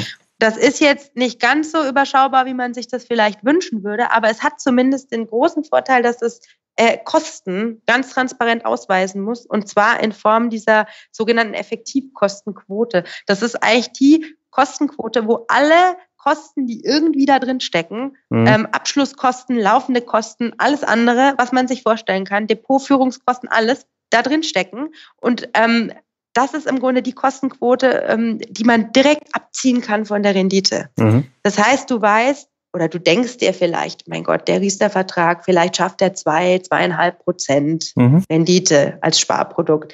Jetzt zwei Prozent davon sind Effektivkosten. Mhm. Dann bleibt mir ein halbes Prozent. Und das weiß ich jetzt. Und das wusste ich früher nicht so genau, mhm. ne? weil da haben die das natürlich auch immer schön, also auch, naja, was da immer verschleiert, aber es war einfach kein besonderer Anreiz da aus Sicht, sage ich jetzt mal, einiger Anbieter zumindest, das transparent zu machen. Und jetzt müssen sie es transparent machen. Mhm. Das heißt jetzt, äh, ich habe mir in diesem Jahr ganz viele Riester-Verträge angeguckt. Es gibt ja auch verschiedene Arten von Riester-Verträgen, mhm. Vorsparpläne und auch ähm, die klassische Rentenversicherung zum Beispiel. Und wir haben einfach diese, diese äh, Verträge unter anderem ganz eiskalt nach dieser Kostenquote jetzt mal auch kategorisieren können. Mhm. Und es gibt wenige, aber einige, die kriegen das ganz gut hin. Also die haben vergleichsweise niedrige Kosten bei einer vergleichsweise hohen garantierten Rente, sage ich jetzt mhm. mal, bei den äh, klassischen Rentenversicherungen. Und bei den Fondssparplänen ist ja so, dass man äh, im Grunde auch äh, in Fonds anlegt. Man weiß nicht so genau, was da dann am Ende dabei rauskommt. Aber äh, wenn man da einfach erstmal weiß, man, man zahlt erstmal wenig, dann äh, weiß ich ja schon mal, egal was rauskommt, es geht einfach mal wenig ab. Ne? Mhm. Und ähm, in, insofern ist bei den Fondssparplänen eben der, die, diese Kostenkomponente nochmal noch mal so wichtiger. Und die Anbieter sind aber, die haben reagiert. Also die haben das schon äh, jetzt auch eingeschränkt. Das ist ja oft so, dass sobald du transparent äh, das machen musst, dann mhm. äh, plötzlich gibt's Wege und Mittel, dass, das, äh, dass man die Kosten eben auch äh, entsprechend etwas senken kann. Mhm. Äh, liegt auch daran, dass die äh, natürlich jetzt auch zum Teil ihre aktiv gemanagten Fonds jetzt bei den Fondssparplänen ersetzen durch ETFs, ja, klar. Mhm. Und dann weil die Nachfrage bei diesen Produkten nach ETFs steigt.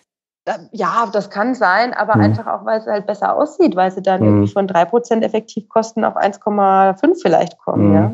Also beides möglich. Also ich bin mir nicht sicher, natürlich ist jetzt Riester ähm, kein Produkt, was jetzt so, äh, so eine ganz äh, starke Nachfrage hat. Mhm. Äh, eben auch, weil über die Jahre auch einfach äh, das Image also gelitten hat, also weil man da eben sehr viel gelesen hat über die eben sehr schlechten und sehr teuren Verträge. Mhm. Aber ähm, also die erste Botschaft ist, wie gesagt, es gibt die günstigen Verträge. Ähm, wir haben die zum Beispiel, wir haben da eine Analyse gemacht, die kann man sich durchlesen.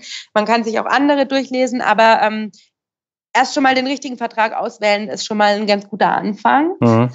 Und dann eben vielleicht noch die Frage, welche Art von Riester-Vertrag will ich denn? Mhm. Äh, will ich eben so eine Rentenversicherung, wo ich eine gewisse Sicherheit darüber habe, dass ich später eine sicher garantierte Rente bekomme, während beim Fondssparplan weiß ich nicht ganz so genau, was dann später da irgendwie rauskommt. Ja, kann man sich dann überlegen. Mhm. Grundsätzlich ist es halt dann auch so, dass man bei Riester schon auch schauen muss, für wen lohnt sich eher. Ja? Genau. Also es gibt, wenn man jetzt durchschnittlich viel verdient und, und keine Kinder hat, dann, dann lohnt sich so ein Riester-Vertrag, da, da bringt einem die Förderung jetzt nicht so besonders viel. Mhm. Das muss man halt einfach machen. Man kann schon riestern, aber da muss man auch realistisch sein und sagen, allein über die Förderung kriege ich nicht so viel. Mhm. Und allein über die Verzinsung, je nachdem, was ich wähle, könnte ich vielleicht ein bisschen was gut machen oder auch nicht. Aber so, dass ich da mit 5, 6 Prozent Rendite rausgehe, das ist einfach unrealistisch. Mhm. Das wird nicht klappen. Das heißt, ähm, Riester ist ja auch sowieso, äh, man hat ja auch so ein Einzahlungsmaximum pro Jahr von 2100 Euro. Mehr kann ich auch gar nicht einzahlen. Das heißt, meine Rente, die da später mal rauskommt, ja, selbst wenn ich 30 Jahre anspare, die ist nicht, nicht, nicht riesig. Mhm. Das sind keine 300 Euro oder so, ja. Das muss man sich bei Riester halt immer klar machen. Also deswegen sage ich, vielleicht sogar erstens, ist Riester überhaupt das Richtige für mich, ja? Mhm. Und dann, also deckt das zum Beispiel ab, was ich später mal brauche als Zusatzrente? Reicht mir das? Oder will ich das einfach machen, weil ich die Förderung irgendwie doch mitnehmen will? Oder Bestenfalls, ich habe einfach drei Kinder und ich kriege dafür 900 Euro. Also mhm. mache ich das, ja. Habe ich eine gute Förderrendite. Ich finde halt aufpassen müssen die, die eben so durchschnittlich irgendwie verdienen, keine Kinder haben, weil die profitieren jetzt nicht unbedingt so viel davon. Die können es auch machen, aber die können vielleicht auch was anderes machen. Mhm. Und dann, wenn ich mich dafür entschieden habe, es zu machen, dann eben gucken, günstiger Vertrag. Mhm. Und dann kann man das machen. Also nicht für alle, nicht für jeden, aber für manche ja. Mhm. Und wenn ich jetzt so einen Vertrag äh, schon seit Jahren da rumliegen habe und äh, bespare, wie komme ich da wieder raus? Ja, das ist spannend, ne?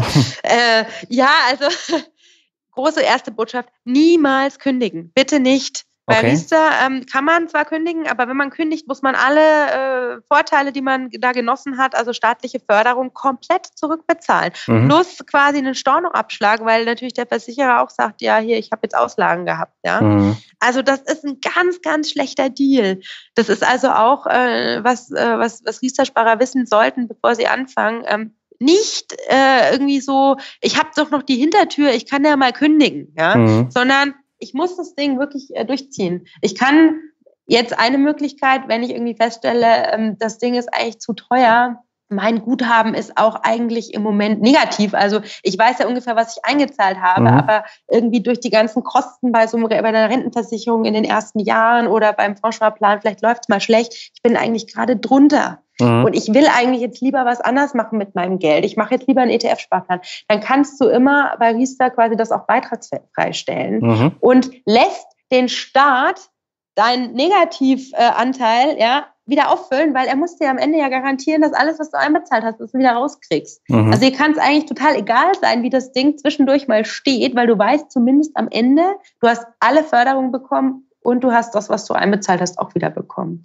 Mhm. Also noch ein Grund mehr eigentlich nicht zu kündigen. Und eben dann, wenn man feststellt, zu teuer, gibt es eben die Möglichkeit, beitragsfrei stellen und was anderes machen mhm. oder beitragsfrei stellen und wenn man noch genug Zeit hat, also sage ich jetzt mal mindestens noch 15 Jahre, eher mehr, vielleicht dann noch mal einen günstigen, guten, besseren Riester-Vertrag abschließen, kann man ja auch machen. Den einen einfach ruhen lassen und einen besseren nehmen. Ja, also man kann natürlich auch wechseln. Du könntest auch überlegen, äh, dein, dein Guthaben zu packen und zu sagen, ich gehe jetzt zu einem günstigeren Anbieter, wo mhm. ich keine Abschlusskosten zahle, bei so einem Fondssparplan zum Beispiel.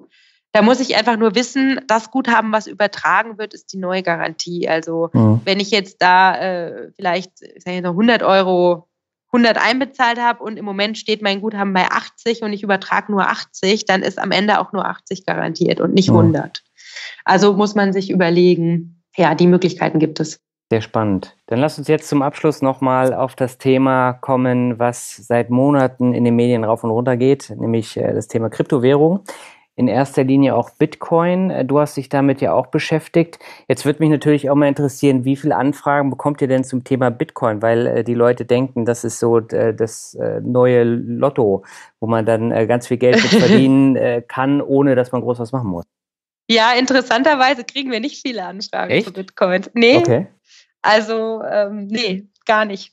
Vielleicht sind die Leser schon zu vernünftig oder zu sehr, zu sehr auf dem Boden der Tatsache und lesen lieber die, die handfesten Ratgeber. Ich weiß mhm. es nicht. Nee, wir kriegen, also ich weiß nichts davon. Allerdings hat Hermann Tenhagen halt viele Fernsehanfragen bekommen, Interviewanfragen zu dem Thema, weil es natürlich in den Medien gerade hochspielt. Mhm. Aber ähm, genau, also jetzt direkt von Lesern bisher tatsächlich äh, wenig. Mhm. Genau, und ja, wir haben jetzt, wir haben jetzt trotzdem einfach mal aufgeschrieben, ähm, was wir dazu denken, was, wie, wie das auch, wie das Ganze funktioniert, falls ja. sich der ein oder andere dann doch nochmal verirrt auf die Seite und gerne wissen würde. Auch wieder der Versuch in einfachen Worten, ohne es zu sehr zu verfälschen, mhm. also aber irgendwie nachvollziehbar aufzuschreiben, wie, was ist denn das jetzt eigentlich, ja, wie funktioniert diese Blockchain? Ne? Aber in erster Linie geht es äh, eigentlich um die Message zu sagen, ähm, Finger weg, ähm, wer das als Geldanlage äh, so sich so vorstellt. Also mhm. wer quasi seine Altersvorsorge auf Bitcoins stützt, ja, mhm. das, äh, das äh, bitte nicht denn es ist tatsächlich eine Spekulation. Man weiß nicht, wie das äh, weitergeht. Es funktioniert äh, nicht als Zahlungsmittel im Moment. Es ist äh, nicht abgesichert. Da steckt keine Zentralbank dahinter, kein, kein Staat, der irgendwie den Wert irgendwie garantiert. Ähm, es gibt auch keinen Material, materiellen Wert, also wie bei Gold zum Beispiel, dass ich sage, Gold schwankt auch und ich weiß nicht so richtig, ist auch eine Krisenwährung, keine Ahnung, wie sich das entwickelt. Aber immerhin hat Gold über Jahrhunderte ähm, diese Zahlungsfunktion schon, schon, zumindest schon erfüllt. Also man mhm. weiß tatsächlich aus der Erfahrung heraus, so ein Goldkrümelchen, wenn ich es dann hätte, die Wahrscheinlichkeit ist sehr hoch, dass es im Zweifel akzeptiert würde. Ja. Und bei Bitcoins weiß ich das nicht. Also jeder, der denkt, dass er da in der Zukunft irgendwie äh, hier ähm, äh, finanzieren kann, eben seine Rente oder was auch immer, würde ich mich echt nicht drauf verlassen. Aber äh, wer jetzt einfach mal mitmachen will, also einfach sagt, ich möchte in dieser virtuellen Welt jetzt äh, irgendwie dranbleiben und will eigentlich wissen, worüber die alle reden, mhm. äh, der kann natürlich irgendwie mal 100 Euro in die Hand nehmen, aber dann ist das eher wirklich so Geld, was man ansonsten nicht braucht. Ja. Wo man sagen würde, da gehe ich sonst irgendwie, mache ich mir ein schönes Wochenende, fahre mal irgendwie mit dem Zug irgendwo hin. Das lasse ich dann ausfallen und stattdessen ja. kaufe ich mal 100 Euro Bitcoins. Und wenn es eben dann irgendwie weg ist, das Geld, macht es, macht es mir nichts, tut es mhm. mir nicht weh. Mhm, ganz wichtige Aussage. Dann kann man das, dann kann man das machen. Aber es reicht. Also 100 Euro habe ich auch gemacht. Natürlich mache ich dann auch, weil dann, sonst weiß ich ja nicht, worüber ich schreibe. ja. äh, das macht Spaß. Also man guckt sich dann an, ja, wie funktioniert das mit dieser Börse und wo kann ich das dann speichern? Was kostet das und wie geht das mit dieser Transaktion? Einfach nur, dass man halt weiß, worüber reden da jetzt gerade mhm. alle, ja. Das ist ja jetzt mittlerweile auch schon fast ein Stück Finanzbildung, ja. Mhm. Das gehört ja jetzt irgendwie schon dazu. Also wenn ich jemand fragt, was ist Bitcoin und sagt, oh, ich habe keine Ahnung, ja. ist ja irgendwie peinlich, also, oder? genau, also deswegen, ähm, ja, ich, ich finde, das ist eine ganz, eine ganz nette Sache mit eben wenig Geld. Ähm, dann kriegt man trotzdem viel mit, aber man riskiert eben nicht. Mhm. Genau. Jetzt würde mich natürlich zum Abschluss nochmal interessieren, wie legst du denn selber dein Geld an? Wahrscheinlich in ETFs, oder? Ja, also ich befolge ganz brav auch die ähm, Empfehlungen von Finanztipp. Äh, genau, ich habe ein bisschen Geld ähm, auf einmal damals schon angelegt in den MSCI World. Das läuft mhm. jetzt schon so eine Weile ganz gut. Dann mache ich auch äh, ein, zwei Sparpläne mit irgendwie so 100 Euro jeweils, wo ich noch ein bisschen streue, wo ich sage, ich möchte auch mal nur europäische Aktien oder Europa-Aktien. Mhm. Also da habe ich dann noch so ein bisschen eine, eine andere Ausrichtung. Und dann habe ich tatsächlich auch ganz brav einjähriges und zweijähriges Festgeld und ich mhm. habe auch ein Tagesgeldkonto, was ganz gut verzinst ist im Moment noch. Mhm. Ja. Also irgendwie versucht einfach äh, immer die Angebote, die man da auch immer so ähm, auf dem Markt äh, gesehen hat oder meine Kollegen äh, gesehen haben und analysiert haben, dann auch einfach mitgenommen. Mhm. Hat dann zwei Effekte. Einmal äh, fühlt man sich gut aufgehoben, weil man weiß, man kann so dem Rat der, der Kollegen auch vertrauen und man mhm. kriegt da jetzt, glaube ich, einen ganz guten Deal. Auf der anderen Seite aber auch interessant. Also mhm. hier Depot eröffnen, ja, ich habe das auch bei verschiedenen Depot-Anbietern, äh, weil ich einfach mal wissen wollte, hey, wie geht denn das bei dem, wie geht denn das mhm. bei dem? Und äh, auch jetzt irgendwie Festgeld. Ähm, hier äh, gibt es ja zum Beispiel diese Zinspilot, ne, diese Plattform, die dann mhm. verschiedene Festgelder. Wie geht es eigentlich, wenn ich das da mache? Ja? Also wenn ich mhm. jetzt nicht irgendwie nur bei einem Anbieter direkt das Geld abparke, sondern wenn ich das in so einem Portal quasi wieder verteilen muss. Mhm. Ähm, wie funktioniert das mit den Gutschriften? Wann kriege ich eigentlich meine Zinsen gut geschrieben? Ja, also einfach so ausprobieren. Mhm. Ja, ich bin ja auch so ein Fan davon. Ja, ne? Mhm. ja. Ja, das ist ein ähm, echt spannender Ansatz und äh, da kommen wir jetzt gleich nochmal drauf. Dann würde ich sagen, lass uns zum Finanzrocker Word Shuffle kommen. Das heißt, ich nenne dir ein paar Begriffe und du sagst einfach, was dir dazu einfällt. Das kann ganz kurz sein, kann aber auch ein bisschen länger sein. Äh, okay. Und beginnen möchte ich jetzt tatsächlich mit diesem Thema, nämlich mit Fintech. Ach, das war jetzt schon das Stichwort? Ja, Fintech ist das Stichwort. Fintech ist ein großes Ding. Ähm, es gibt ganz viele neue Anbieter, die versuchen, Bankdienstleistungen smarter, transparenter auf dem Smartphone zu machen. Mhm. Ich persönlich bin vielleicht dafür schon zu alt. Nee, aber ich bin nicht in der Generation, dass ich sage, ich lade mir jetzt jede App sofort runter und muss mhm. die jetzt irgendwie ausprobieren. Ich bin eher so, ich beobachte und ich warte ab, äh, Im Zweifel habe ich ja auch das Privileg, dass meine Kollegen sich das alles angucken. Mhm. Und ich warte dann, bis sie dann irgendwas Gutes finden. Wenn sie sagen, okay, das musst du mal ausprobieren, dann, dann mache ich vielleicht das dann. Mhm. Also ähm, ich beobachte eher und äh, mal sehen, was da noch so kommt, ja. Mhm. Wobei so Plattformen wie Zinspilot oder Weltspann hast ja. du ja jetzt schon ausprobiert. Ja, genau, wenn man mhm. das jetzt unter Fintech auch wieder ja. nimmt. Ne? Also es ist halt auch so eine Frage, wo grenzt, wie grenzt man das jetzt eigentlich ja, genau. irgendwie genau ab? Ja, ja. Aber so klar, also so bestimmte neue Ideen, wenn wenn sie dann, dann schon eine Weile funktionieren, dann bin ich auch damit fein. Aber jetzt irgendwie nicht, wenn jeder irgendwie, wenn es jetzt gerade eine Woche irgendwie auf dem Markt ist, die neue App XY, dann ja. ähm, warte ich da eher ab. Okay, dann kommen wir zum nächsten Begriff, das ist Reisen. Reisen? Mhm. Äh, ja, Reisen ist klasse. Äh, Reisen hat jetzt nichts äh, mit Geldanlage zu tun äh, in erster Linie. Ähm, ich reise super gerne. Ähm, ich finde es immer ganz spannend, einfach mal zu sehen, äh, wie äh, ja, Menschen anderswo Dinge sehen, wie die mhm. an Dinge herangehen, wie die kommunizieren. Ja, ist ja auch als Journalist immer ganz interessant. Ähm, ich habe ja auch eine Weile mal in Italien gelebt, in mhm. der Schweiz äh, und war aber auch einfach schon viel unterwegs man lernt immer unglaublich viel dazu. Mhm. Und man lernt auch, dass man manchmal hier dieses Deutschland und äh, die Deutschen und überhaupt äh, die deutsche Art, sage ich jetzt mal, äh, Verbissene manchmal, ne? dass man das alles nicht so ernst nehmen muss. Und mhm. man lernt es einfach ein bisschen besser einzuordnen. Also, aber ich, ja, ich schreibe ganz gerne jetzt auch, ich bin ja eigentlich selber, ist ja schlimm, ne? Ich bin ja auch äh, dann selber immer im Detail und gerne mhm. verliebt ins Detail und ja. schreibe es eigentlich ganz akribisch auf und sage, ja, und bloß nicht zu oberflächlich darüber. Ich bin echt gleich deutscher, als ich vielleicht gerne wäre, ich weiß ja. gar nicht. Aber ähm, also Reisen erweitert den Horizont auf jeden Fall. Ähm, wer die Gelegenheit hat, auch mal in ferne Kulturen abzutauchen, also Richtung China, Japan oder so, mhm. würde ich auf alle Fälle empfehlen. Sehr schön. Dann kommen wir jetzt zum äh, Begriff, da bin ich jetzt wirklich mal gespannt, was du dazu sagst. Das ist nämlich Crash. Crash. Ja, Crash. Ich habe noch nie einen Crash am eigenen Leib miterleben müssen. Also, dass mhm. ich wirklich mal Geld äh, komplett gecrashed äh, gehabt hätte. Mhm. Und äh, daher bin ich äh, lustigerweise sehr irgendwie wenig emotional gegenüber mhm. diesem Wort.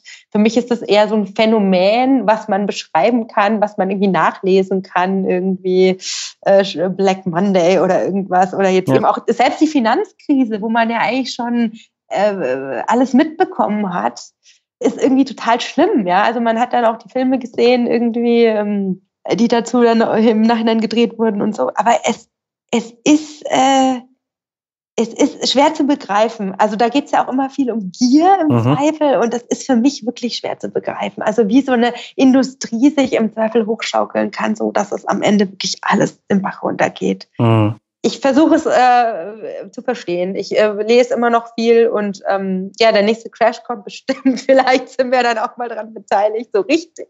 Mhm. Ähm, mal sehen, wie man sich dann fühlt. Ja, aber man sieht es ja jetzt gerade bei den Kryptowährungen, vor allem bei Bitcoin, da schaukelt sich das ja auch extrem hoch und man weiß nicht, wo es hinführt. Das stimmt, aber mhm. selbst da bin ich nicht wirklich emotional, weil ich ja nur 100 Euro reingesteckt habe. Also ja, stimmt, da, da, müsste ich jetzt jemanden kennen, der da jetzt gerade richtig bibbert und zittert und der da richtig Geld drin liegen hat und den mal beobachten, wie der sich so verhält. Mhm. Ja, vielleicht wäre ich da ein bisschen näher dran, aber man ist dann doch auch wieder vernünftig. Ich bin sehr vernünftig, ja, dann mhm. doch.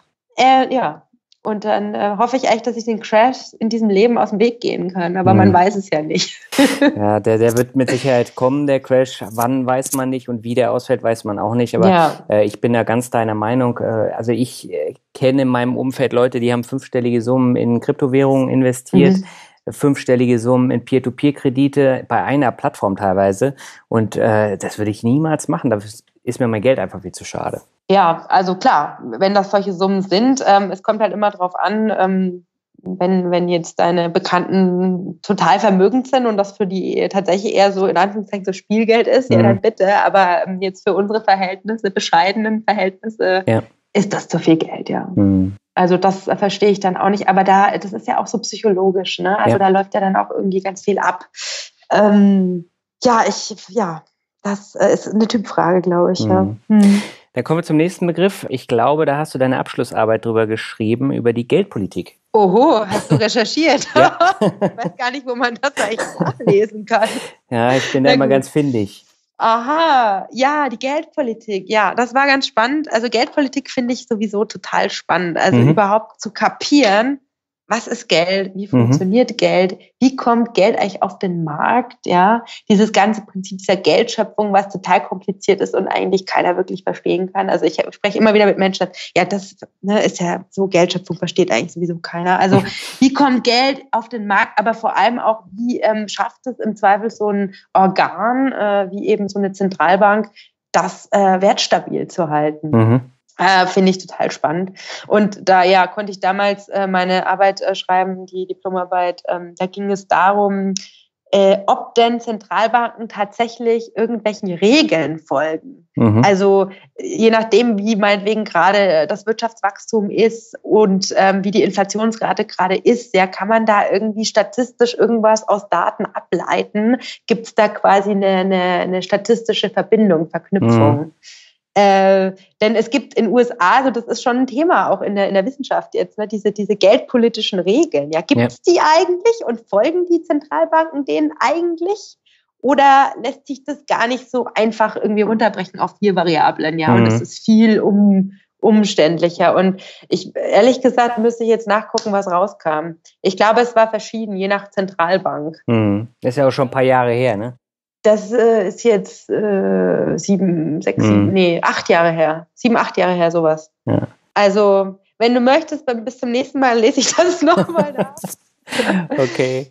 Genau. Ähm, ja, kommen wir zum nächsten. Das ist ein Thema, was mich sehr häufig beschäftigt und äh, viele meiner Hörerinnen auch. Es ist nämlich Frauen- und Geldanlage. Ja, ja, Frauen- und Geldanlage. Also ist interessant, ne? Mhm. Weil ich äh, bin ja auch eine Frau und ich habe überhaupt kein Problem mit Geldanlage. Mhm. Und äh, in dem Team, wo ich gearbeitet habe, zum Beispiel auch beim Handelsblatt, auch die Finanzredaktion in Frankfurt, das sind mehr Frauen als Männer. Mhm. Ja? Also ich, und auch im Bekanntenkreis, also gut, ich kenne natürlich auch viele Wirtschaftsredakteure oder Leute, die sich mit Wirtschaft sowieso beschäftigen. Mhm. Da habe ich jetzt nicht das Gefühl, dass die Frauen so äh, desinteressiert sind oder was man sonst da vielleicht immer hört oder sich damit nicht auskennen wollen oder das zu kompliziert finden oder kein Interesse haben oder so, mhm. dass das so eine Männerdomäne wäre, kann ich jetzt aus meinem persönlichen Umfeld gar nicht sagen. Ist das im Freundeskreis bei dir auch so in der Familie? Ja, also ich habe entweder, also ich glaube, das kommt eher, es liegt eher nicht jetzt, ob Mann oder Frau, es liegt eher so am Hintergrund. Also mhm. wer einfach irgendwie ein Wirtschaftsstudium gemacht hat oder irgendwie so in dem Bereich jetzt auch arbeitet, irgendwie in der Firma ist oder so, der hat da irgendwie eine Meinung und den interessiert das auch, ja. Mhm. Und ähm, dann gibt's aber auch Teile, Freunde, Familie, die haben damit überhaupt nichts am Hut, die machen was ganz anderes, die sind Künstler oder also wirklich so ein ganz anderes Leben. Ja.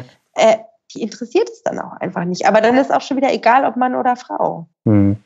Also, was ich allerdings merke, tatsächlich bei unseren Zuschriften jetzt, auch wenn es um diese Sparpläne und so geht, äh, mhm. äh, wo man da irgendwie noch sparen kann oder so, das sind tatsächlich eher Männer.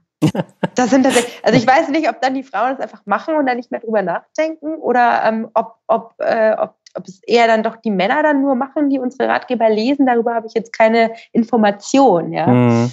Aber vielleicht sind die Männer eher die, die sich dann darüber aufregen und dann irgendwie ein Feedback geben. Aber das weiß ich nicht. ja. Also ich diskutiere ja da auch mal sehr fleißig und ich finde auch, das ist ein super spannendes Thema, was sich enorm entwickelt. Also zum Beispiel mhm. hier bei meiner Bloggerkollegin Madame Moneypenny, die hat ja. jetzt eine, eine Facebook-Gruppe mit äh, weit über 4000 äh, Frauen, die da sich austauschen über Geldthemen. Ähm, also es geht voran, wenn auch sehr ja. langsam, aber ich finde es unheimlich wichtig. Ja, ja, auf jeden Fall. Und aber also klar, also deine Erfahrung auch und und und Madame Money, Moneypenny, also sicherlich ähm, gibt es eine bestimmte Gruppe Frauen, die muss man erstmal ähm, sage ich jetzt mal, abholen irgendwo, mm. ja. Auch vielleicht mit einer ganz gewissen irgendwie Ansprache oder so. Also ähm, da geht es auch um Vertrauensbildung, aber eigentlich gilt es für alle. Es geht einfach darum, jeder sagt irgendwie Finanzen, Geld, das ist Geld, das ist alles so kompliziert, ja. Mhm. Und es ist jetzt vielleicht nicht die unkomplizierteste Sache der Welt, aber es ist jetzt auch keine Raketenwissenschaft. Und es kommt darauf an, wie man es transportiert und wie man es ja. erklärt. Und man ist einfach geprägt von diesen auch, ich meine, liest doch mal so ein Fondsprospekt oder ja. irgendwie sowas, ja. Da, da wirst du ja von irgendwelchen Finanzfachbegriffen nur so irgendwie umworfen und, und das macht auch keinen Spaß, es zu mhm. lesen, mhm. ja. Also äh, ist meine, meine, meine, meine Überzeugung eher, ähm, ich schreibe jetzt nicht für Mann oder für Frau, ich schreibe für alle, aber ich will es so schreiben, dass irgendwie jeder verstehen kann. Das ist, glaube ich, auch der wichtigste Anspruch. Ähm, und ich hoffe, dass man dann, ja, dass man dann halt auch irgendwann die Frauen auch abholt. Genau. Im Zweifel nur, wenn sich der Mann wieder zu Hause aufrichtet und die Frau dann sich denkt, ich will das jetzt auch mal nachlesen. genau. genau. Kommen wir zum nächsten, das ist äh, mein Standardbegriff, nämlich Rockmusik. Rockmusik, oh je, leider bin ich da nicht so, ist nicht so meins, sorry, ähm, mhm. so E-Gitarre. Ähm, ich bin eher für Akustikgitarre, Jazz, sowas. Okay. Ähm, aber klar, ich meine, ich erkenne natürlich die großen Rocker dieser Welt auch an. Ja, ich habe auch eine Platte von den Rolling Stones. Also okay. das passt schon. Ich höre es mir ab und zu mal gerne an, aber jetzt nicht jeden Tag. Okay. Dann habe ich noch zwei Begriffe für dich. Der nächste ist Bayern. Bayern, äh, ja, da bin ich geboren und äh, auch habe viele Jahre meines Lebens ähm, dort verbracht. Ja, schön ist es in Bayern. ähm, ja, ich mag Bayern gerne, aber ich bin jetzt nicht so super heimatverbunden, dass ich sage, oh Gott, ich muss da unbedingt bleiben und mein Leben verbringen und jedes Wochenende dahin fahren. Mhm. Äh, es gibt eben in Deutschland auch ganz viele andere spannende Städte und das ist auch wie mit dem Reisen. Also ich bin einfach der Meinung, je mehr man rumkommt, je mehr Menschen man trifft mit unterschiedlichem Hintergrund, desto, mhm. desto mehr lernt man und das ist einfach spannend und da kommt man auch persönlich weiter und ähm, das ist also mein Ding. Äh, ich sage überhaupt nichts. Jeder, der da happy ist, ähm, man kann ja da super viel machen in die Berge, an die Seen und so mhm. alles. Äh, Natur, ähm, gute Lebensqualität. Aber ja, mich, mich, ich habe eher so diesen Drang nach, nach Neuem tatsächlich. Mhm. Ja. Das ist auch ein spannender Ansatz. Das hängt ja auch eng mit dem Reisen da zusammen, ne? Genau. Und, äh, Neues kennenlernen und äh, auch Neues dann mal machen. Genau. Und jetzt will ich keinen Bayern hier verärgern bei den Zuhörern, aber man muss, ich finde schon in seinem Leben mal irgendwann mal in der Hauptstadt gewesen sein und nicht nur zwei Tage am Wochenende. Also schon mal so vielleicht ein Praktikum machen, wenn es geht, oder halt irgendwie mal ein bisschen Zeit da verbringen, damit man mal weiß, wie Berlin so tickt. Also finde ja. ich persönlich schon wichtig. Cooler Ansatz. Also ich habe ja 18 Jahre in Berlin äh, gelebt und genau, äh, ich bin jetzt, aus, ne? ich bin jetzt ja. gerne als Urlauber da, aber das reicht dann auch. Ja, also ich sage auch gar nicht, dass Berlin die Stadt ist, wo man sein komplettes Leben verbringen muss. ähm, ja. äh, und es gibt, also wahrscheinlich wäre Berlin total ähm, viel spannender auch gewesen, wenn ich, wenn man hier studiert hätte, ja, zum. Beispiel. Da hätte man ja noch viel mehr mitgenommen. Aber ich, äh, was ich hier total mitnehme in Berlin im Moment, ist so das Angebot an, an so Kultur und Kunst und Schauspiel und Musik. Mhm. Also auch die Qualität dieser ganzen äh, quasi Angebote, das ist schon echt der Hammer. Mhm. Und ähm, für eine Weile. Und irgendwann wahrscheinlich hat man jedes Stück einmal gesehen, dann denkt man sich, okay, jetzt kann man auch wieder woanders hin. Zum Beispiel nach Lübeck, wo es auch sehr schön ist. Ja, aber Lübeck ist ja eher dörflich. Ja, aber Lübeck äh, ist schon, ist schon so cozy. Das ist schön. Also mir hat es da sehr gut gefallen. Ja. Kannst du ja mal hier auf dem Weihnachtsmarkt, äh, sehr gut, äh, im Januar ist der dann schon vorbei. Der ist also, dann schon vorbei. Genau. Aber es ist tatsächlich schön. Auch der Weihnachtsmarkt, ja. der lohnt sich immer. Aber äh, der Weihnachtsmarkt äh, ist auch sehr anstrengend, weil die, die Schweden und die Dänen und die Finnen, die kommen so. ja da immer mit Bussen. Das und, ist dann der, äh, der Tourismus, ja, der ganz schlimm. Tourismus, oh je. Ja, nicht nur okay. der, wir haben ja auch den Einkaufstourismus. Also wir haben ja hier ja. Ein, ein, großes Einkaufszentrum bei mir um die Ecke und da halten wirklich alle Skandinavier an, bevor sie auf die Fähre fahren und laden sich ihr Auto voll bis oben hin. Und äh, oh, da haben wir auch immer Spaß. Ja, oh je. Na gut, also gut, dann hat das auch seine negativen Seiten. Genau. Ich sehe schon. Ja, kommen wir zum letzten Begriff. Äh, da bin ja. ich jetzt auch nochmal gespannt. Äh, schließen möchte ich das Word Shuffle mit Glück. Glück. Also ich glaube, es ist ein großes Glück, wenn man einfach äh, in seinem Leben äh, einen Beruf auch findet, der einen so erfüllt. Ähm, wie ich jetzt, äh, wie gesagt, auch ich das Glück habe, mit meinem Schreiben und dem Transportieren wichtiger Botschaften in einfacher Sprache. Also es ist für mich schon wirklich großes Glück. Also ich sehe mhm. das nicht als selbstverständlich an, dass man diese Gelegenheit bekommt und jetzt auch über das Internet eben auch viele, viele Leute auch erreichen kann, ohne große Probleme. Mhm. Also das ist ja ein ganz großer Fortschritt auch, ja. Also mhm. einfach Verbreitung von Wissen auf so einfachem Wege ist einfach toll. Genau, und dann aber ja, also klar gibt es ja im Leben auch noch andere Komponenten, die zum Glück gehören. Ich denke, das weiß ja auch jeder. Ja, da muss man halt dann auch Glück haben. genau. Sehr schöner Abschluss. Ja. Sarah, hab vielen Dank für das tolle Interview. Ich glaube, du hast jetzt äh, einen High Watermark gesetzt für das Podcast Jahr 2018 im Finanzrocker Podcast. Ich fand es super spannend. Wir haben ja auch sehr, sehr viele Themen abgedeckt. Und äh, von daher hab vielen Dank und ich fand das großartig. Vielen, vielen Dank, Daniel, auch an dich. Das war echt ein tolles Interview. Ich habe mich ähm, sehr, sehr wohl gefühlt. Ich hoffe, ich habe alles gut erklären können soweit. Ähm, ja. Und du kannst ja bei Gelegenheit mal Bescheid geben, wenn Leserfeedback kommt. Also jederzeit immer wieder gerne. Auf jeden Fall, das mache ich, Sarah, und dann wünsche ich dir alles Gute. Wünsche ich dir auch. Mach's gut. Mach's gut. Ciao. Ja, soweit das Interview mit Sarah, das am Ende etwas ausgeufert ist. Wir waren danach beide etwas erschlagen, zumal wir stimmlich auch noch etwas angeschlagen waren, wie man ab und zu mal hört. Aber ich hoffe, dass da einige neue Aspekte für dich dabei waren und empfehle dir mal bei Finanztipp vorbeizuschauen. Ja, zu guter Letzt habe ich noch zwei Bewertungen für dich. Die erste kommt von HD Meyer und er schreibt, wieder mal super gut geworden. Es ist schon erstaunlich, mit welcher Kontinuität Daniel es immer wieder schafft, einen so interessanten Podcast mit Interviewpartnern zu präsentieren. Ich höre diese Podcasts ausschließlich im Auto und musste schon so manche Sonderrunde drehen, weil es gerade sehr interessant war. Mach bitte weiter so, ich freue mich auf weitere Folgen und fühle mich in Lübeck deutlich besser aufgehoben als auf Malle. Das fängt schon mit der Tonqualität an, über die Art des Interviews bis zu den Gesprächspartnern der hier mal wieder ganz besonders gut war. Zusammen mit dem anderen Alexander, nee, nicht Düsseldorf, sondern von Rente mit Dividende. Mit freundlichen Grüßen, Plutus and Me. Ja, herzlichen Dank für die sehr nette Bewertung. Gut, die Tonqualität, die schwankt leider Gottes ab und an. Das hatte ich jetzt in dieser Folge leider Gottes wieder. Das hängt aber mit diesem neuen Skype zusammen und äh, irgendwie stellt er manchmal das Mikro um.